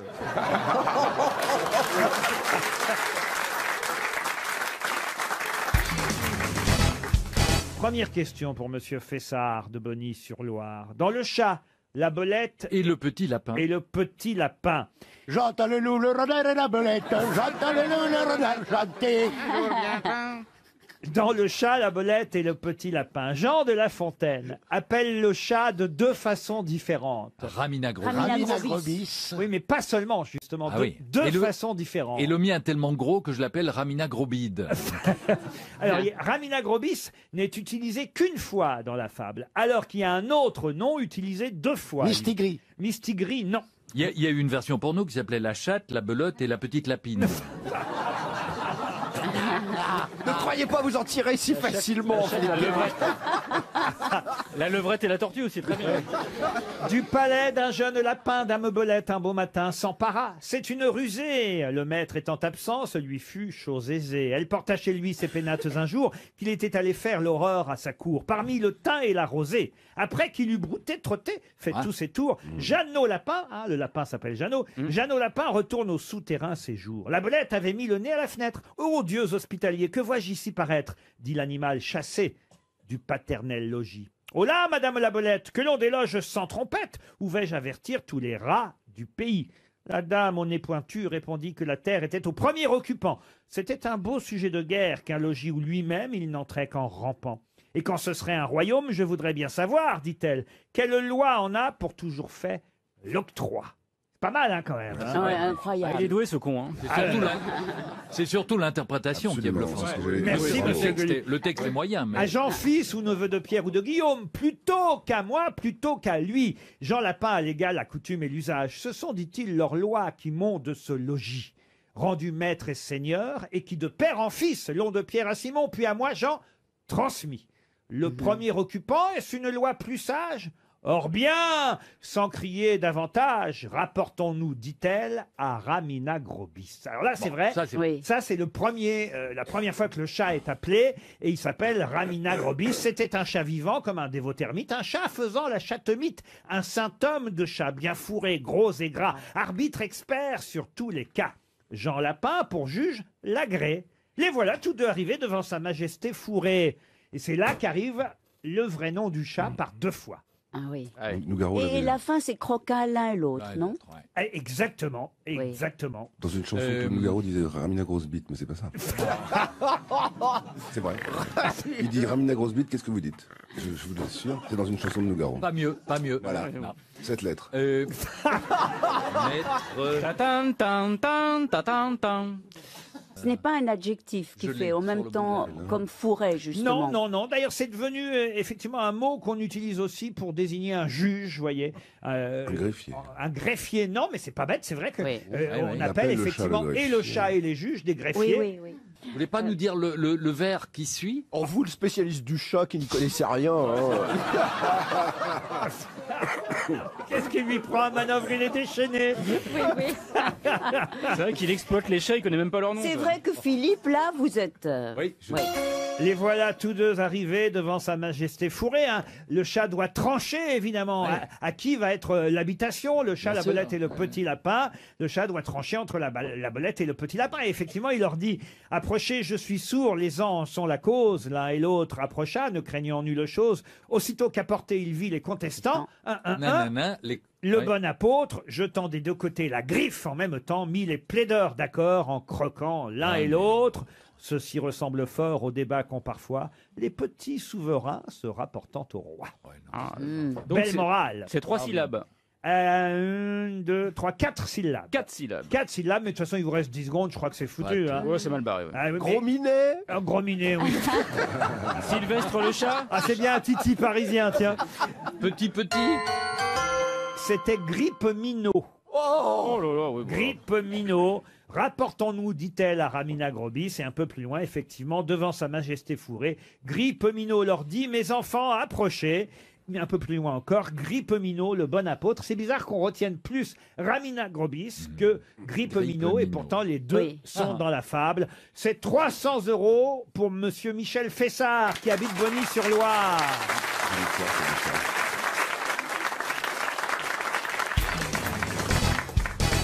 Vous allez au Salthaus Museum, qui se trouve à Wolfsburg... Ah non, mais le problème, quand il y a des trucs en, en langue étrangère, on est un peu largué. Ah, hein. L'allemand, je prononce très très bien. Ah, ouais, l'allemand. Ah, oui. Le Zeithaus Museum. Non, non, Museum. C'est- c'est- c'est comme- À Wolfsburg. Ah. C'est en fait l'usine Volkswagen qui est Ah. là-bas. À Volkswagen, si vous préférez. À Salzbourg. Voilà, exactement. Et si vous allez euh, Non, dans ce- Wolfsburg. dans, dans ce- Volksburg. Voilà. Volkswagen. À Wolfsburg. Il y a le musée Volkswagen. Ouais. Et si vous allez dans ce musée, vous verrez la fameuse Volkswagen. Volkswagen. Non, Folk. Non, Volk. Non, Volk. non, dit. En allemand, Le V, c'est le feu. feu. Croyez-moi, c'est Folk. Ouais, c'est un W. Folk, c'est un V, ça se prononce feu. C'est comme ça. en C'est Allemagne. exactement ce que je C'est pense. Christophe- En Allemagne, c'est Christophe de Chaffan. Fais au moins confiance à Pierre, il a une gueule à maîtriser l'allemand. je veux dire. Il en a fait pendant 5 ans. Non mais moi j'ai fait, j'ai fait allemand pendant des années et croyez-moi, Volkswagen. La voiture du peuple. La voiture du peuple. La voiture du Ouais, bah, peuple, exactement. Et là je vais vous parler de la Volkswagen immatriculée. Qu'est-ce qu'il y a? Pourquoi vous vous marrez? Immatriculée LMW 281 F, qui fut rachetée par un collectionneur en 1986, puis par ce musée en 1998 aux enchères. Et vous pouvez aller la voir donc là-bas à Wolfsburg, où se trouve l'usine Volkswagen. C'est la voiture de- la- la voiture d'Hitler, ouais. La voiture d'Hitler Non. C'est Choupette c'est la coccinelle. C'est Choupette Ce n'est pas Choupette. C'est la, c'est la voiture de Porsche, c'est l'ingénieur Porsche. Non plus. C'est lié, C'est une c'est lié voi- au Troisième Reich? Du tout. C'est lié à Louis Ferdinand Porsche Non plus. Un film? Un film, non. Alors, si vous aviez lu le journal Le Monde, et pas si tard qu'hier, hein, vous le sauriez. Et c'est un modèle de quelle année? Ah bah écoutez, ça je n'en sais rien. Ah bah, dites donc. Mais je peux vous dire que c'est des années 60 en tout Elle, cas. apporte- elle a appartenu à quelqu'un de connu. On n'a même pas le nom du propriétaire. Mais on connaît tous cette coccinelle. C'est une coccinelle décapotable? Non, elle n'est pas décapotable. Elle a été responsable d'un accident. Du tout. Elle a été filmée parce que quelqu'un de célèbre était dedans. Elle a été filmée. Photographiée. Je ne peux pas dire. Photographiée, oui. Elle a été photographiée en noir et blanc. C'est la coccinelle euh, dans laquelle Kennedy a été assassiné. Non, c'est pas une décapotable, on a dit. Ah bon, pardon. Il y a eu un adultère à l'intérieur? Ah non, non, non, je crois pas. j'en Donc elle a été photographiée. Ah oui, elle a été photographiée. Elle a été photographiée parce qu'il y avait quelqu'un dedans. Non. Ah, il y avait C'est personne la dedans. première coccinelle. Non. Non, Non, c'est- c'est- elle a été photographiée lors d'un Enfin. événement mondialement connu. Oh, c'est pas un événement, mais c'est en tout cas une photo mondialement Est-ce qu'elle connue. est-ce qu'elle a un numéro sur elle?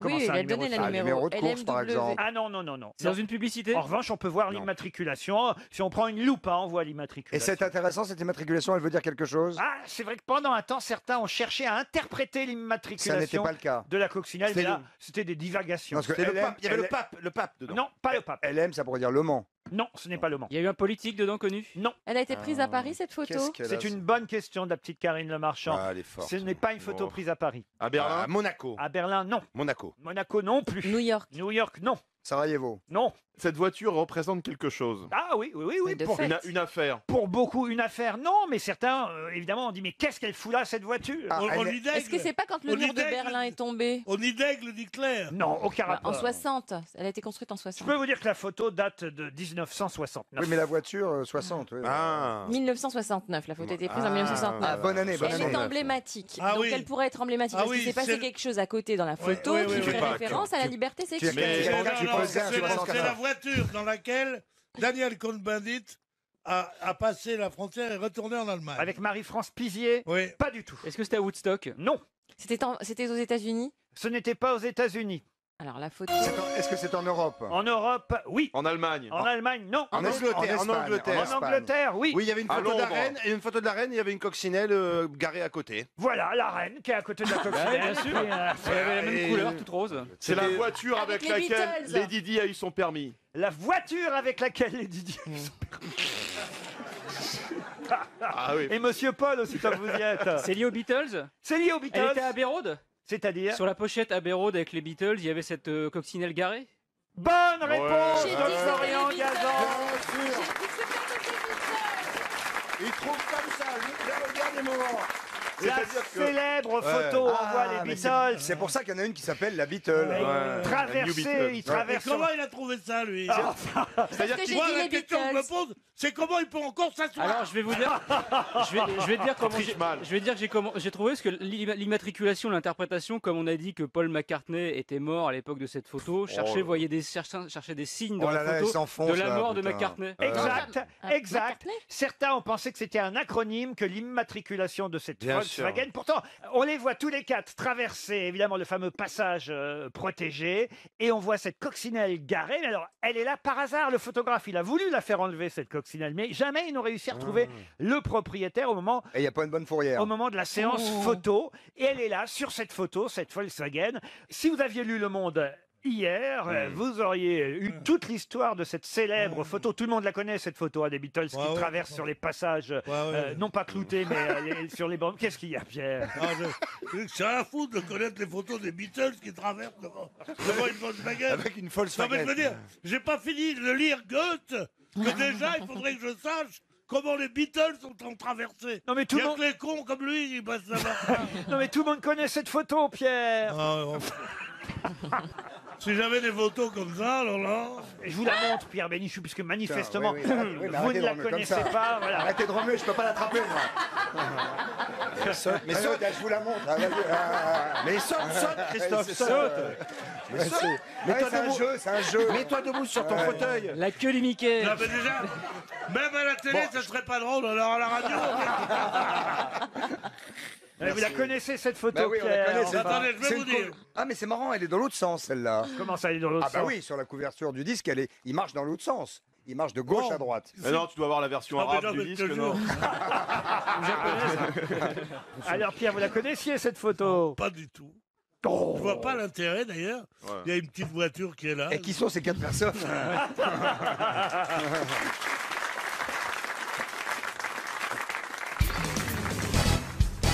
quelqu'un vous souffle dans l'oreille le code 18, qu'essaye-t-il de vous dire? Qui veut Position du Kama Sutra? Non, Eh ben, c'est les pompiers le 18. Non. Donc ça veut Ouais, dire pour- suce-moi? Non. Ok, je sais ce que je te dirai la prochaine fois. Non, c'est un signe de reconnaissance discret. Ah, c'est les francs-macs? Non, les francs-maçons, non. C'est un gang? 18, un gang. Partouze, partouze. Non, partouze, Ça n'a non. rien à voir avec la Mara en Colombie. Non, non, Est-ce non. que ça a un rapport avec euh, un groupe musical? Est-ce que Oh c'est- non, non. Ça marche en France ou à l'international? Ah, ça marche à Et C'est l'international. raélien. Ce n'est pas raélien. C'est C'est plutôt les néga- scientologues Scientologue, non. 18, 18. Négatif. C'est une secte? C'est négatif Alors, ce n'est pas une secte, mais c'est quand même un groupe. Ancien alcoolique Non, non. Les non. évangélistes. Un groupe anonyme? Les évangélistes, Les non. hémorroïdes anonymes. C'est un groupe anonyme? Mais attendez, pourquoi on se dit ce numéro? C'est pour savoir qu'on appartient tous les deux Si je vous dis 18, vous savez que vous et moi, on pense à peu près la même chose. Les Amish. Politiquement. Les anarchistes? Mais vous pouvez trouver, hein, 18, ça veut dire quelque chose. Ah, si on Ah, l'écrit les 18, ils étaient 18 à l'origine. C'est un code. Non, non, non. Ça veut dire qu'on soutient Donald Trump. Non, Est-ce que c'est un rapport avec le signe de l'infini et le 1 18, De c'est 1 leur- à l'infini. non. Est-ce que. Alors attendez, autre question. Ça fait longtemps que ça existe ce. Ah, ça fait un petit moment. Genre, Oui. C'est pas les apôtres qui n'ont pas pu rentrer au resto? Non. Est-ce que ça a un rapport peut-être avec euh, un nombre de planètes? Non. Et ce sont les Non. martiens? 300 ans? Notez, Ça a 300 ans? Non, notez sur votre papier 1 Ah, et c'est intéressant, 8. ça. Et là, vous allez évidemment trouver le code. À quoi cela correspond? 9, 1 plus 8. ça fait, des, ça fait des lunettes quand on renverse? Non. Alors faut le regarder dans quel sens? Ah, c'est un apéritif C'est-à-dire? Bah, je sais pas combien le. le, le- Ah, le- c'est un, Ouais, je croyais c'est un- 18. c'est un Le nom de code pour 421. une fête internet, un truc Non, comme ça. du ils vont- tout.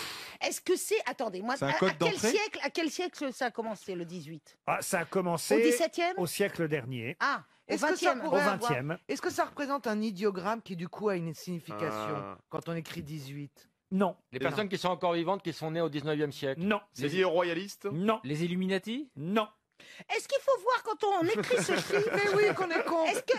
Allez-y. Oui, faut pas l'écrire en chiffres euh, égyptiens, faut l'écrire en chiffres romains. Du tout.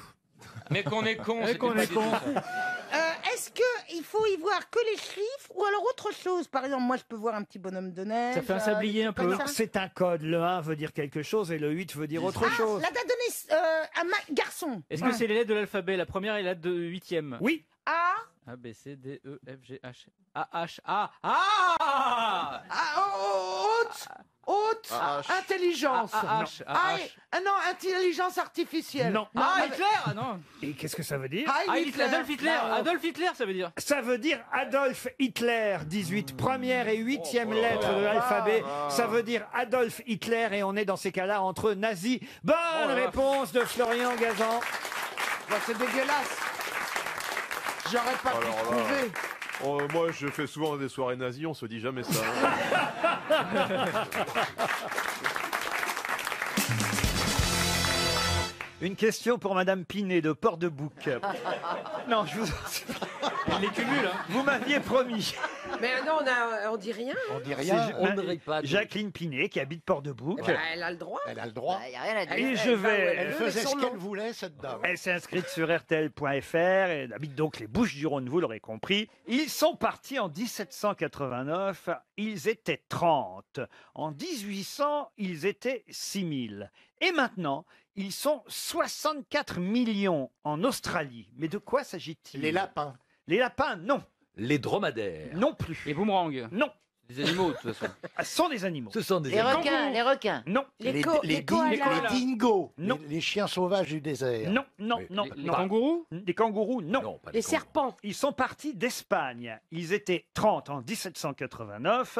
11 ans plus tard, en 1800, ils étaient déjà 6000. Aujourd'hui, on en compte 64 millions. Les moutons, bien sûr. Lesquels Les moutons de, ch- de là-bas. les, mou- les moutons Angora. Les moutons Rothschild Les moutons. Les, les mérinos. Les Les mérinos. mérinos. Bonne réponse. Bonne réponse de Philippe Gueluc et Jean-Jacques Perroni. Les mérinos, il paraît que ce sont les moutons qui donnent la meilleure laine. Ah, ils ont une haleine formidable. Ah. Mais quand vous dites ils sont partis d'Espagne, ils, sont, ils se sont pas dit tiens on irait bien. euh, que- que- on les a emmenés. Mais non, ils ont d'Espagne. fait une croisière, la croisière Mérinos. Mais non, mais et, C'était voilà. une marque de matelas. Ils se sont dit Mérinos. allez on se taille. c'est toujours des matelas mérinos. Ah, ça m'a ça, Mérinos, Mérinos, Mérinos. le matelas des réveils en douceur. Là là C'est con de dormir là sur un là. mouton. T'as vraiment besoin d'argent, Michel, en ce moment. Non, mais je compte m'inscrire à l'Eurovision l'année prochaine. Comment ça va chez Carrefour Market d'ailleurs Eh ben, super bien, ils sont, ils sont au taquet, Carrefour Market. Mais quand vous y allez chez Carrefour Market, Eh oui, bah, j'y- ils sont contents. est-ce que vous allez faire vos courses vraiment? Ah oui, oui, bien sûr. Et alors ils vous disent quoi Privatise pour Faut toi même Ah bah, pas les, gens n'en reviennent pas, surtout que je paye, surtout parce que les gens pensent que je vais là-bas gratuitement, mais Ah, vous pas n'avez- du Ah tout. non, vous avez déjà entendu les annonces Quand moi j'y étais parfois, vous entendez Madame Bernier, renfort caisse, caisse 4. Mais l'autre jour, l'autre jour d'ailleurs, j'y vais, j'entends Michel, je vais, je, je vais aller chez Carrefour Marchel, je tombe sur Daniel Prévost qui me dit non, viens chez Super U. Et moi, je suis en Logérias. Ah, Intermarché Ah, Oui, je suis à Intermarché. Intermarché. On ne sait plus où aller faire ses courses. hein.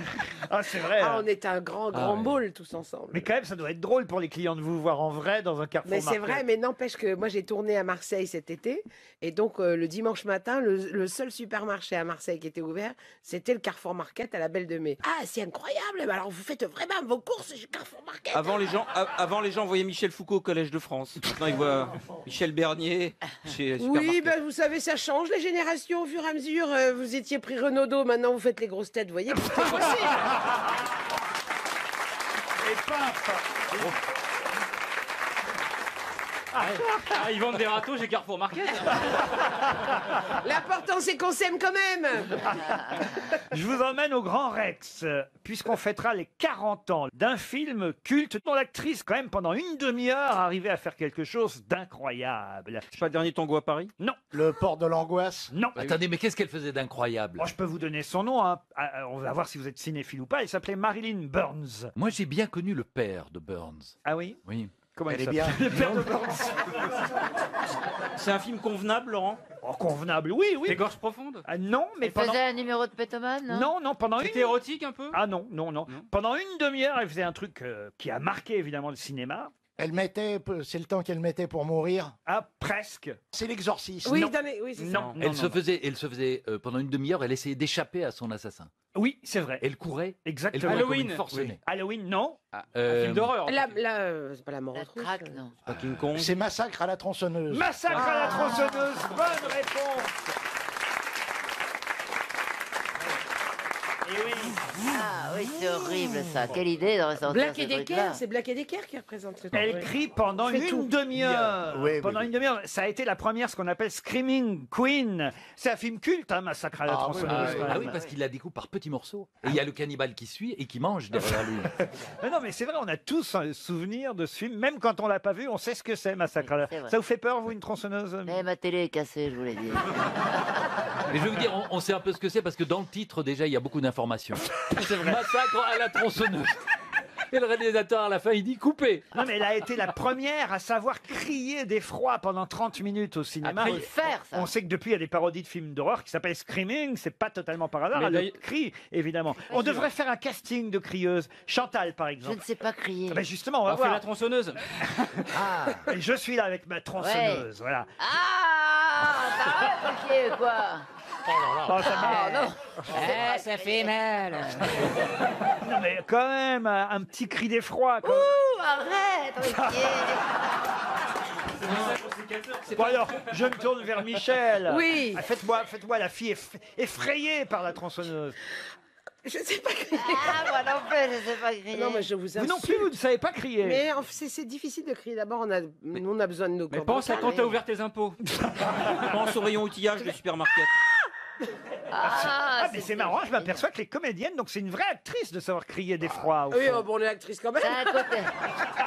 Ah non, mais prouvez-le moi. C'est sexuel, le Mais crier. non, mais- Ça excite les hommes, paraît-il, de crier. Florian, vous sauriez? Oui, mais tu serais pas pris. Gueuluc, allez-y voir. Oui, bah au suivant. Oh mon dieu, Carrefour Market est fermé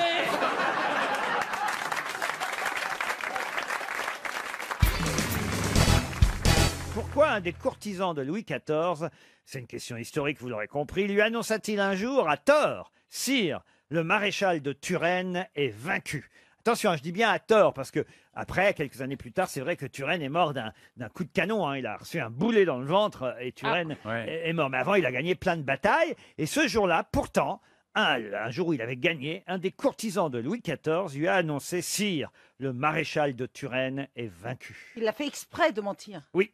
Ah ah Déjà, Ah. je fais avancer. Hein. C'était un, c'était un anglais ou c'était un. Il avait une. euh, Il il n'était pas français et ça l'arrangeait de dire que. Non, puisqu'il l'a fait exprès, vous voyez. Peut-être qu'il voulait se faire envoyer à son secours C'est-à-dire S'il est mort, il est mort. Non, vaincu. Mais Non, non, puisqu'il vaincu, est ça veut pas pas dire mort, qu'il est vous dit. mort. Non, vaincu. Elle a encore Non, pas avoir compris la été question. vaincu, ça veut pas dire qu'il était mort. Ça Vous veut avez- dire qu'il fallait peut-être nommer une autre armée pour aller le soutenir. Ça, c'est bien, ma petite Karine. Mais c'est pas ça. Elle est consciencieuse, elle, au moins. Mais ce n'est pas ça. Est-ce que la personne qui a menti au roi voulait en tirer un profit quelconque? Non, pas spécialement. Ah. Est-ce que c'était de l'humour De l'humour Non. Est-ce que c'était un, un voyant Non plus. Est-ce qu'il y avait un projet dans ce mensonge Ah, un projet, c'est dans un but bien précis. Ah, écrire quelque chose. Écrire Pardon quelque chose. complot Un complot, non. Pour faire réagir le roi. Ah, ça, c'est vrai. Pour écrire une pièce, par exemple, Non plus. autour de ça. Sire, le maréchal de Turenne est vaincu. Pourquoi? Les courtisans de Louis XIV lui a annoncé ça comme ça, un jour à tort en plus. hein. Pour qu'il réagisse, le roi, et qu'il prenne des décisions dignes de Pour cette qu'il ait- réaction. pour qu'il ait un infarctus. Non, C'est ça le roi était en mauvais état, il lui disait ça pour le Ouais. sortir de sa catalepsie. Ah, On se rapproche. Alors, il était justement pas du tout. C'était pour le faire crever. Non. Non, il était moribond. Non, C'était pour le non, faire- non, il était en bonne santé, mais quand même, il y avait un petit problème. Il était constipé, c'était Ouais. pour le faire chier. Non. Mais, non, mais quelque part, on n'est pas si loin. La fistule royale. Non, ça n'a rien à voir avec la fistule. C'était pour provoquer une ré- réaction organique chez le roi. Alors, en quelque sorte. Pour le faire revenir de- en France. Non plus. C'est ça Il était pas bien. Il était- franchement, il était pas bien, franchement. Pas bien, c'est un peu fort, mais il avait un petit problème, un oui. problème, un problème de santé au niveau de la. On est en dessous de la ceinture. Je sais, il était chez il sa avait le maîtresse. hockey. Il avait le hockey, Ah. c'était pour lui faire passer le hockey. Réponse de Karine Le Marchand. Heureusement que vous êtes là, Ça Karine. fait trois, hein. Isabelle, ça t'énerve pas trop? Donne-moi une petite heure et je te réponds du tac au tac.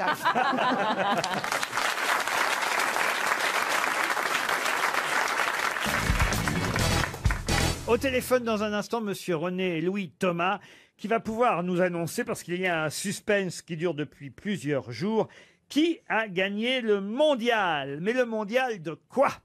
Et on espère évidemment qu'il nous annoncera le pays vainqueur dans un instant, le pays vainqueur de ce mondial. Un concours Alors oui, c'est un concours. Des mangeurs de mondial du saucisses. saucisson. Pardon Le mondial du saucisson. Le Oui, mondial du saucisson, Ardèche. bonne réponse de Jean-Jacques Perroni. Eh oui, ça avait lieu le week-end dernier, c'est déjà vieux, hein, le mondial du saucisson, c'était en Ardèche, le premier mondial, le mondial Rabelais, hein, d'ailleurs c'est Rabelais qui euh, a donné son nom au saucisson, premier mondial Rabelais du saucisson. René-Louis Thomas, bonjour Oui, est-ce que je peux laisser le haut-parleur ou il faut l'enlever? Oh, vous pouvez laisser le haut-parleur. hein, Mais il y vous a- pouvez dire bonjour avant. hein.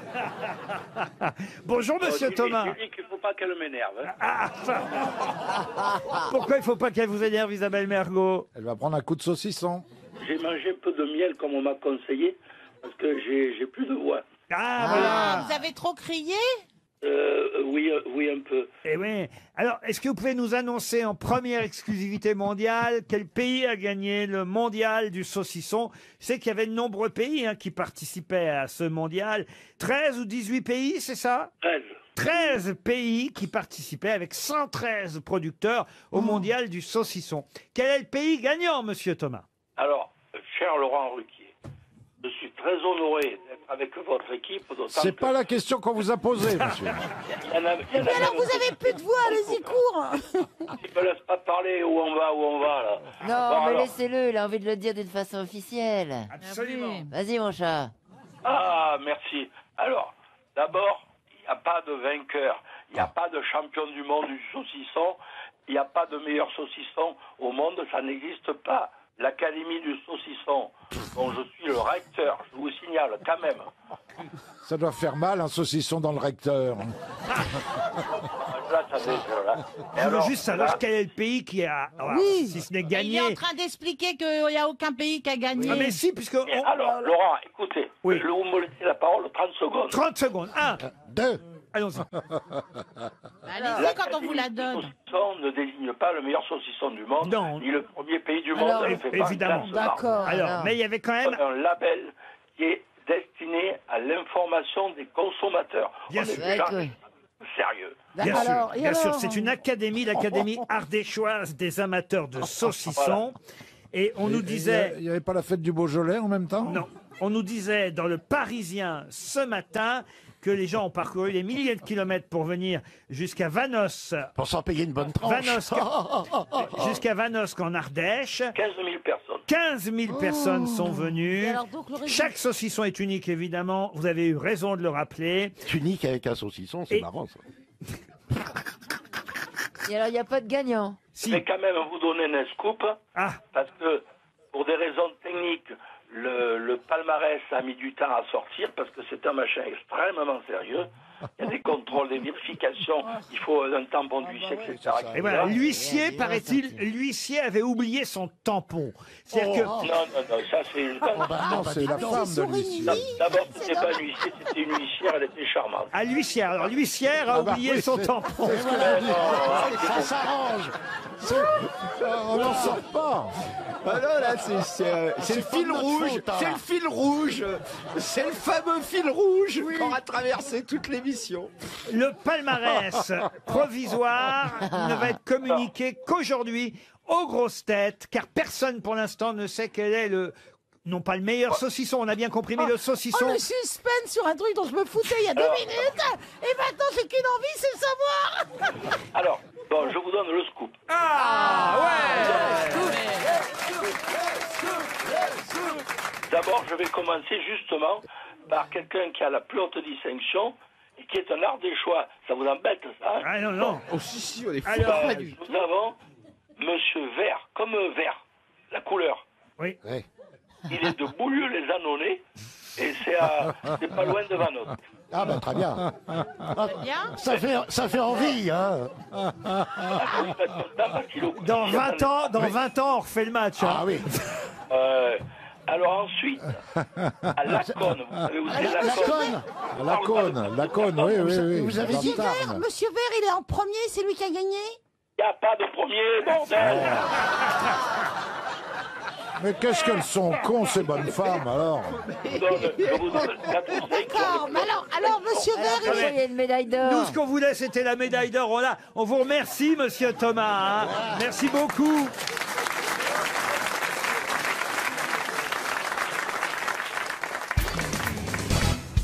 On a appris cette semaine, grâce au Figaro, que l'artiste Jeff Koons, hein, vous voyez cet artiste plasticien, peintre, enfin un peu étonnant, qui d'ailleurs a souvent Ouais. créé la polémique avec ses œuvres. Un peu escroc. homard, le voilà, homard. le fameux homard. Bon, il y a des choses amusantes, euh, mais il y a des choses effectivement un Ouais, peu ah, qui relèvent parfois de l'escroquerie, mais quand même c'est assez rigolo ce qu'il fait. Et là, il a été contacté par Louis Vuitton pour décorer des sacs à main, le sac Speedy, le sac euh, Montaigne, des sacs de la collection euh, Louis euh, Vuitton.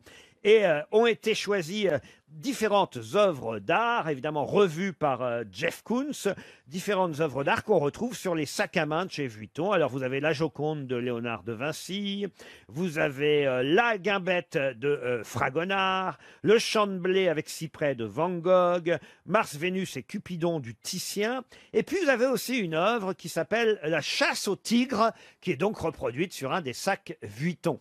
Mais de quel peintre est signée cette chasse au tigre je le sais. Douanier Rousseau. Le Douanier douanier Rousseau. Rousseau. Le douanier Rousseau, non. Justement, non. Ah, Kipling.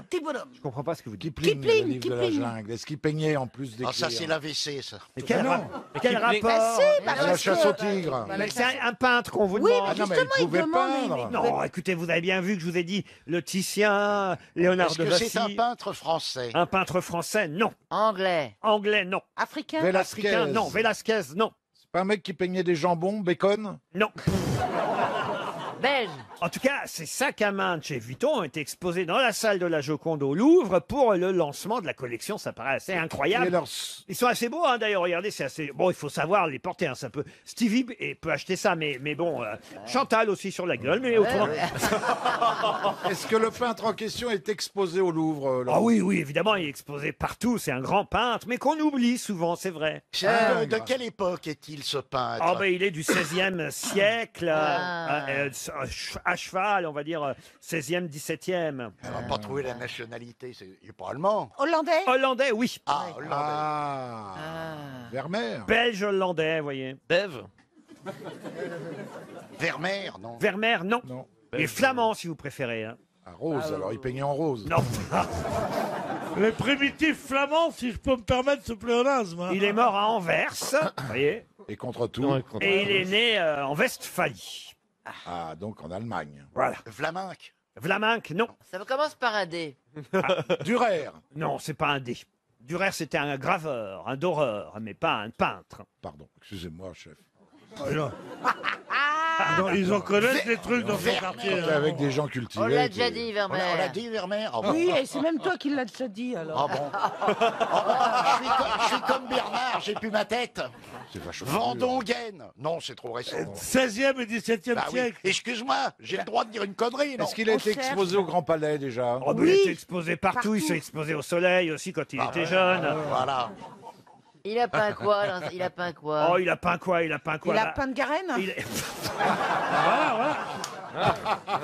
Il a peint la chasse au tigre, par exemple. vous voyez. Ah, Mais arrêtez de citer, vous citez que celui-là. Je peux même La vous dire qu'il l'a peint en tigre. 1615, 1616 et que le tableau est exposé, ah tiens, pour Monsieur Perroni, au musée des Beaux-Arts de Rennes. Si vous voulez aller au Ah. musée des Beaux-Arts de Rennes, vous le verrez ce tableau et vous saurez qu'il est signé un des plus grands peintres. Disait son prénom?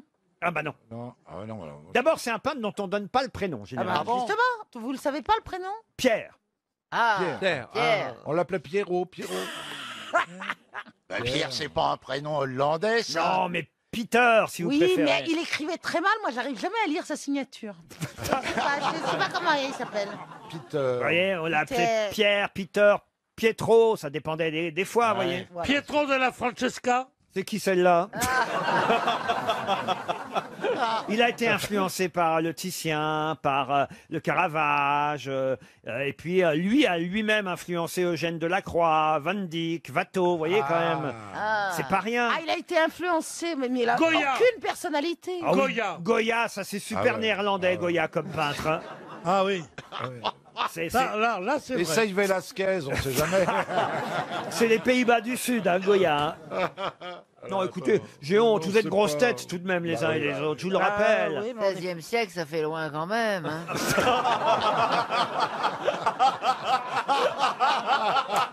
Elle n'a elle n'a pas tout à fait tort.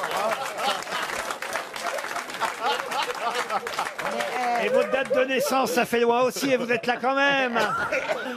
On est têtes actuelles. nous. Votre, votre question m'intéresse pas. Ah ben, autre chose. Il a le droit. Quand vous allez aller acheter votre petit sac Vuitton, vous voyez, monsieur oui, Mabille, ah bah oui, bien ou pour sûr. offrir à votre dulcinée, à votre épouse, Madeleine, ou je sais pas comment elle s'appelle. Madeleine, non mais attends. Est-ce que j'ai une gueule à vivre avec quelqu'un qui s'appelle Madeleine Oui, oui. C'est Oui, genre- bien sûr, oui, oui. oui. C'est genre- Non, t'as une gueule à bouffer, oui. Elle va acheter un sac 8 ans à sa femme. Elle a Non. des sacs au champ, ça suffit. Coro Coro, ça c'est bien euh, C'est au nord que les coraux. Isabelle, vous êtes peut-être la plus cultivée en, en- artistiquement parlant. Euh, Vous- non, Dites-moi qui c'est, je vais vous dire si je le connais. Non, mais enfin, écoutez, il vous reste 30, 30 secondes, on va donner 300 euros pour le nom d'un peintre. Alors là, c'est quand Eh même la- ben, la eh ben, c'est bien. Est-ce que dans le public vous l'avez tiré euh, tiré Levez Allez, les mains. Regardez, regardez, il y a des mains qui se lèvent, ne Ah, il y en dites rien. Il y en a quatre ou cinq Il y a qui se cinq lèvent. menteurs. Ah non, non, non. non, non, il y en a un, il a fait, il a fait, il a fait comme ça. Je suis pas ouais, sûr. Eh ben oui, mais au, au moins ils ont des propositions à faire. Ah, il a fait comme ça. a fait plein. C'est coucou. Alors attention. Vandyck. Qu'est-ce que vous avez dit? Vandyck. Oui, oui, mon cul. Oui. Alors, Non, là, alors là. Moby Dick. on n'a dit pas la famille. Alors,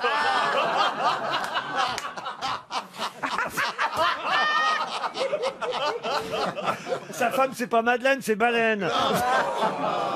Les 5-6 personnes, levez la main qui pensent avoir une proposition. Levez la main tous ceux qui pensent avoir une proposition. Levez-vous. Levez-vous dans le public pour humilier les grosses têtes. Levez-vous, levez-vous, levez-vous. On va mettre les micros très fort dans le public et tous ensemble, vous allez crier le même nom de peintre.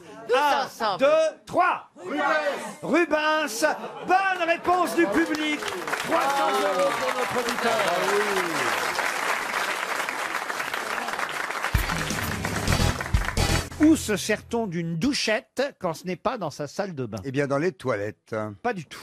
Et c'est une, c'est une vraie douchette ou c'est un mot qui désigne autre chose? Ah, c'est un mot qui désigne autre chose. Ça ressemble à une douchette, mais c'est pas une douchette. Et c'est une douchette. Mais il y a de l'eau. enfin, Ça je veux s'appelle une douchette, pardon? C'est humide, il y a de l'eau. Non, il n'y a pas Il y a d'eau. pas d'eau qui sort. Eh oui. C'est un vieux téléphone. Et ça vintage. s'appelle une douchette. Est-ce qu'il y a un rapport C'est avec la douceur? La douceur, non. Est-ce que c'est un rapport avec un outil? Et croyez-moi, à peu près tous les jours, les Français voient des douchettes. Ah, ils voient des douchettes. Ils les voient, mais ils s'en servent aussi Alors, il y en a qui s'en servent, puis d'autres, euh, on s'en sert pour C'est eux. pour faire pipi? Non. C'est à la même taille à peu près qu'une douchette de douche? Oui, c'est à peu près la même taille. Ah, c'est un truc dans les trains. Ah oui. Oui, il y a, il y a des- il y a des compartiments, il y a deux douchettes. pour les trains de nuit. Ah oui, un train douchette. oui. Ah, je prends une douchette. Ah, je prends une douchette. Est-ce que ça a à voir avec l'électricité? Oh, c'est branché, mais. C'est branché. Ah, c'est branché. C'est donc euh, quelque chose de luminescent.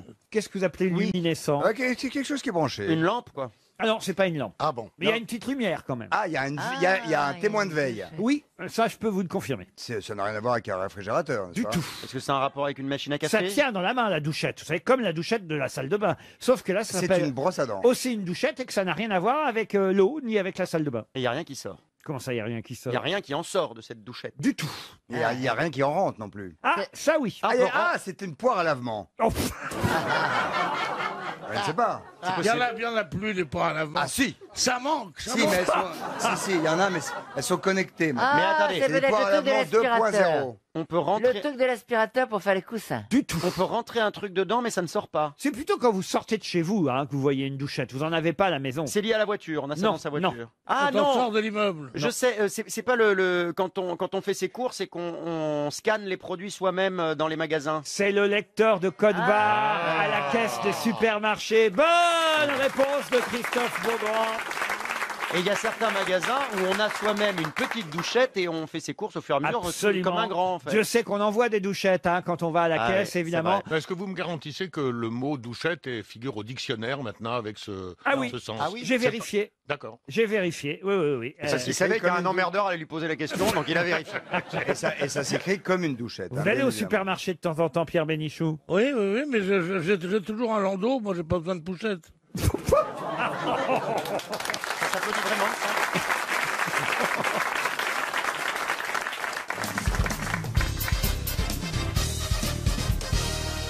Une citation pour Amélie Bézé, qui habite Palm Beach, en Amélie Australie. Bézé ou Amélie Bézé? Oui, c'est Amélie Bézé, c'est son nom, qu'est-ce que je vous dis Qui a dit que Dieu préfère les imbéciles, c'est un bruit que les imbéciles font courir depuis 19 siècles. Français? Un Français, oui. Mort? Mort en 1970. Écrivain? Écrivain, même académicien français, et je vais même vous dire, prix Nobel de littérature. 70, un prix Nobel qui est mort. Il est mort très âgé? Ah, il est mort, il avait hum, 84 ans. Ah oui, très âgé. Daniel des romans? Alors, il a plutôt été, oui, dramaturge, romancier, poète, journaliste, critique aussi. Marcel Achard. Marcel Achard, non. Il a reçu le prix Nobel de littérature en 1952. Bien avant sa mort, donc, puisqu'il est mort en 70. Non, mais il écrivait des pièces de théâtre de comédie ou de drame? Oh, François Mauriac. Et c'est François Mauriac. Ah ouais, Bonne réponse de Pierre Bénichou. Bravo Pierre. Une autre citation, et ce sera pour Laure Mathieu, qui habite Villeurbanne, qui a dit On ne désire pas ce que l'on ne connaît pas. Philosophe? Un philosophe? Oui, je peux vous dire oui. Un Marcel, philosophe. Marcel Proust. Marcel Proust, non. Philosophe euh, étranger? Alors, philosophe, poète, étranger, je suis obligé de vous répondre oui. Il Allemand parle français. il est Alors, il- francophone. Non, il ne parlait pas français, Il non. est allemand? Il a été traduit. Allemand, non. Anglais? Grec? On- Latin? On ne désire pas ce que l'on ne connaît pas. Latin, oui. Italien. Un poète latin. Socrate Socrate, non. Échille Échille, non. Platon. Non plus. Latin, non, c'est latin. Un Pline Ésope Ésope, non. Il avait un nez proéminent. Et donc on le surnommait Naso. Gérard Depardieu Ah. Le pif Tite livre Tite-Livre, non. Pline l'Ancien Pline l'Ancien, Pline non. le Jeune Pline sa sœur Non plus. Il écrivait des fables que plus tard euh, La Fontaine a, a pompé? Ah, euh, non, il a plutôt écrit des poèmes. euh, L'art d'aimer. les- Ovide Ovide. Excellente réponse de Gérard Jugnot. Ovide. C'était qui celui que La Fontaine a pompé?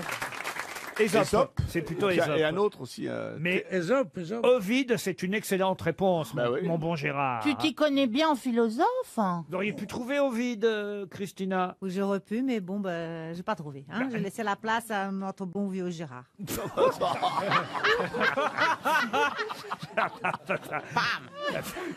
C'est bon vieux Gérard. C'est gentil. Oh putain. Une citation pour Jean-Philippe Smile qui habite Rosny-sous-Bois. Il est pas mort, Jean-Philippe Smile Smile, pas Smile. Et, et vous dites Trosny, vous. Ça, c'est un- c'est en Rony. Tchétchénie. Rosny-sous-Bois, si vous préférez. Qui a dit la femme veut toujours changer l'homme, l'homme veut toujours changer de femme? Sacha Guitry? Non. Oh non, c'est plus récent. C'est vivant? C'est vivant. Euh, Français Français. C'est une femme qui a dit ça C'est une femme Ah qui a oui, dit c'est ça. ça. C'est une humoriste Une humoriste. Anne Romanoff Anne Roumanoff. Bonne réponse de Florian Gazan. Une dernière citation pour Jean-Marc Martinez, une citation historique. Monsieur Martinez habite Latmorin dans l'Hérault, qui a dit Les enfants, je préfère en commencer sans que d'en finir. Pierre Bénichou? Non. Woody Allen? Woody Allen, non. Français Alors, je vous ai dit que c'était historique. Un C'est- gars, un gars pas généreux. Ah, hein. c'est pas un gars qui a dit ça. Une Ah, femme C'est une femme. Catherine de Médicis Pas Catherine de Médicis, non. Mais quand même, qui avait un petit peu chaud aux fesses quand même. Ah oui, elle était connue pour... Une Madame 2 Alors, Madame 2, non. Cléopâtre Cléopâtre, non. La le genre de Cléo- Pompadour La Pompadour non plus. C'est français. Ah, c'était une Française, oui, oui. Marie-Antoinette Marie-Antoinette, non, elle est morte en Italie, mais elle est née en France. Et ça date. euh, Joséphine Pas Joséphine. L'autre, Émile, Émilie, ou je sais plus quoi. euh, La, comment la elle femme de s'appelle Napoléon Alors, Ouais. c'était pas la femme de Napoléon. Ah bon. La maîtresse de Napoléon Non plus. C'était la femme à qui Ah bah, Hein la, femme, Madame sans gêne Mme sans gêne, non. la femme d'un roi Ah, non plus. Ah bah, euh, non. D'un empereur Euh, non plus, mais... euh, Elle a couché avec. Ah non, non. Non. Cléopâtre Non, non, non, non. La maîtresse de... À cette époque-là, en même temps, ce qui se passait, hein. C'était sa sœur C'était la sœur de Napoléon. Alors, comment elle s'appelle déjà? Oui. Euh, ma- Hé, hé, Bonaparte. Eugénie Eugénie Ah non, pas Eugénie. Henriette Émilie C'était la sœur préférée de Napoléon. Eh ben, préféré, préféré, peut-être Ouais. qu'il a fait des trucs, hein.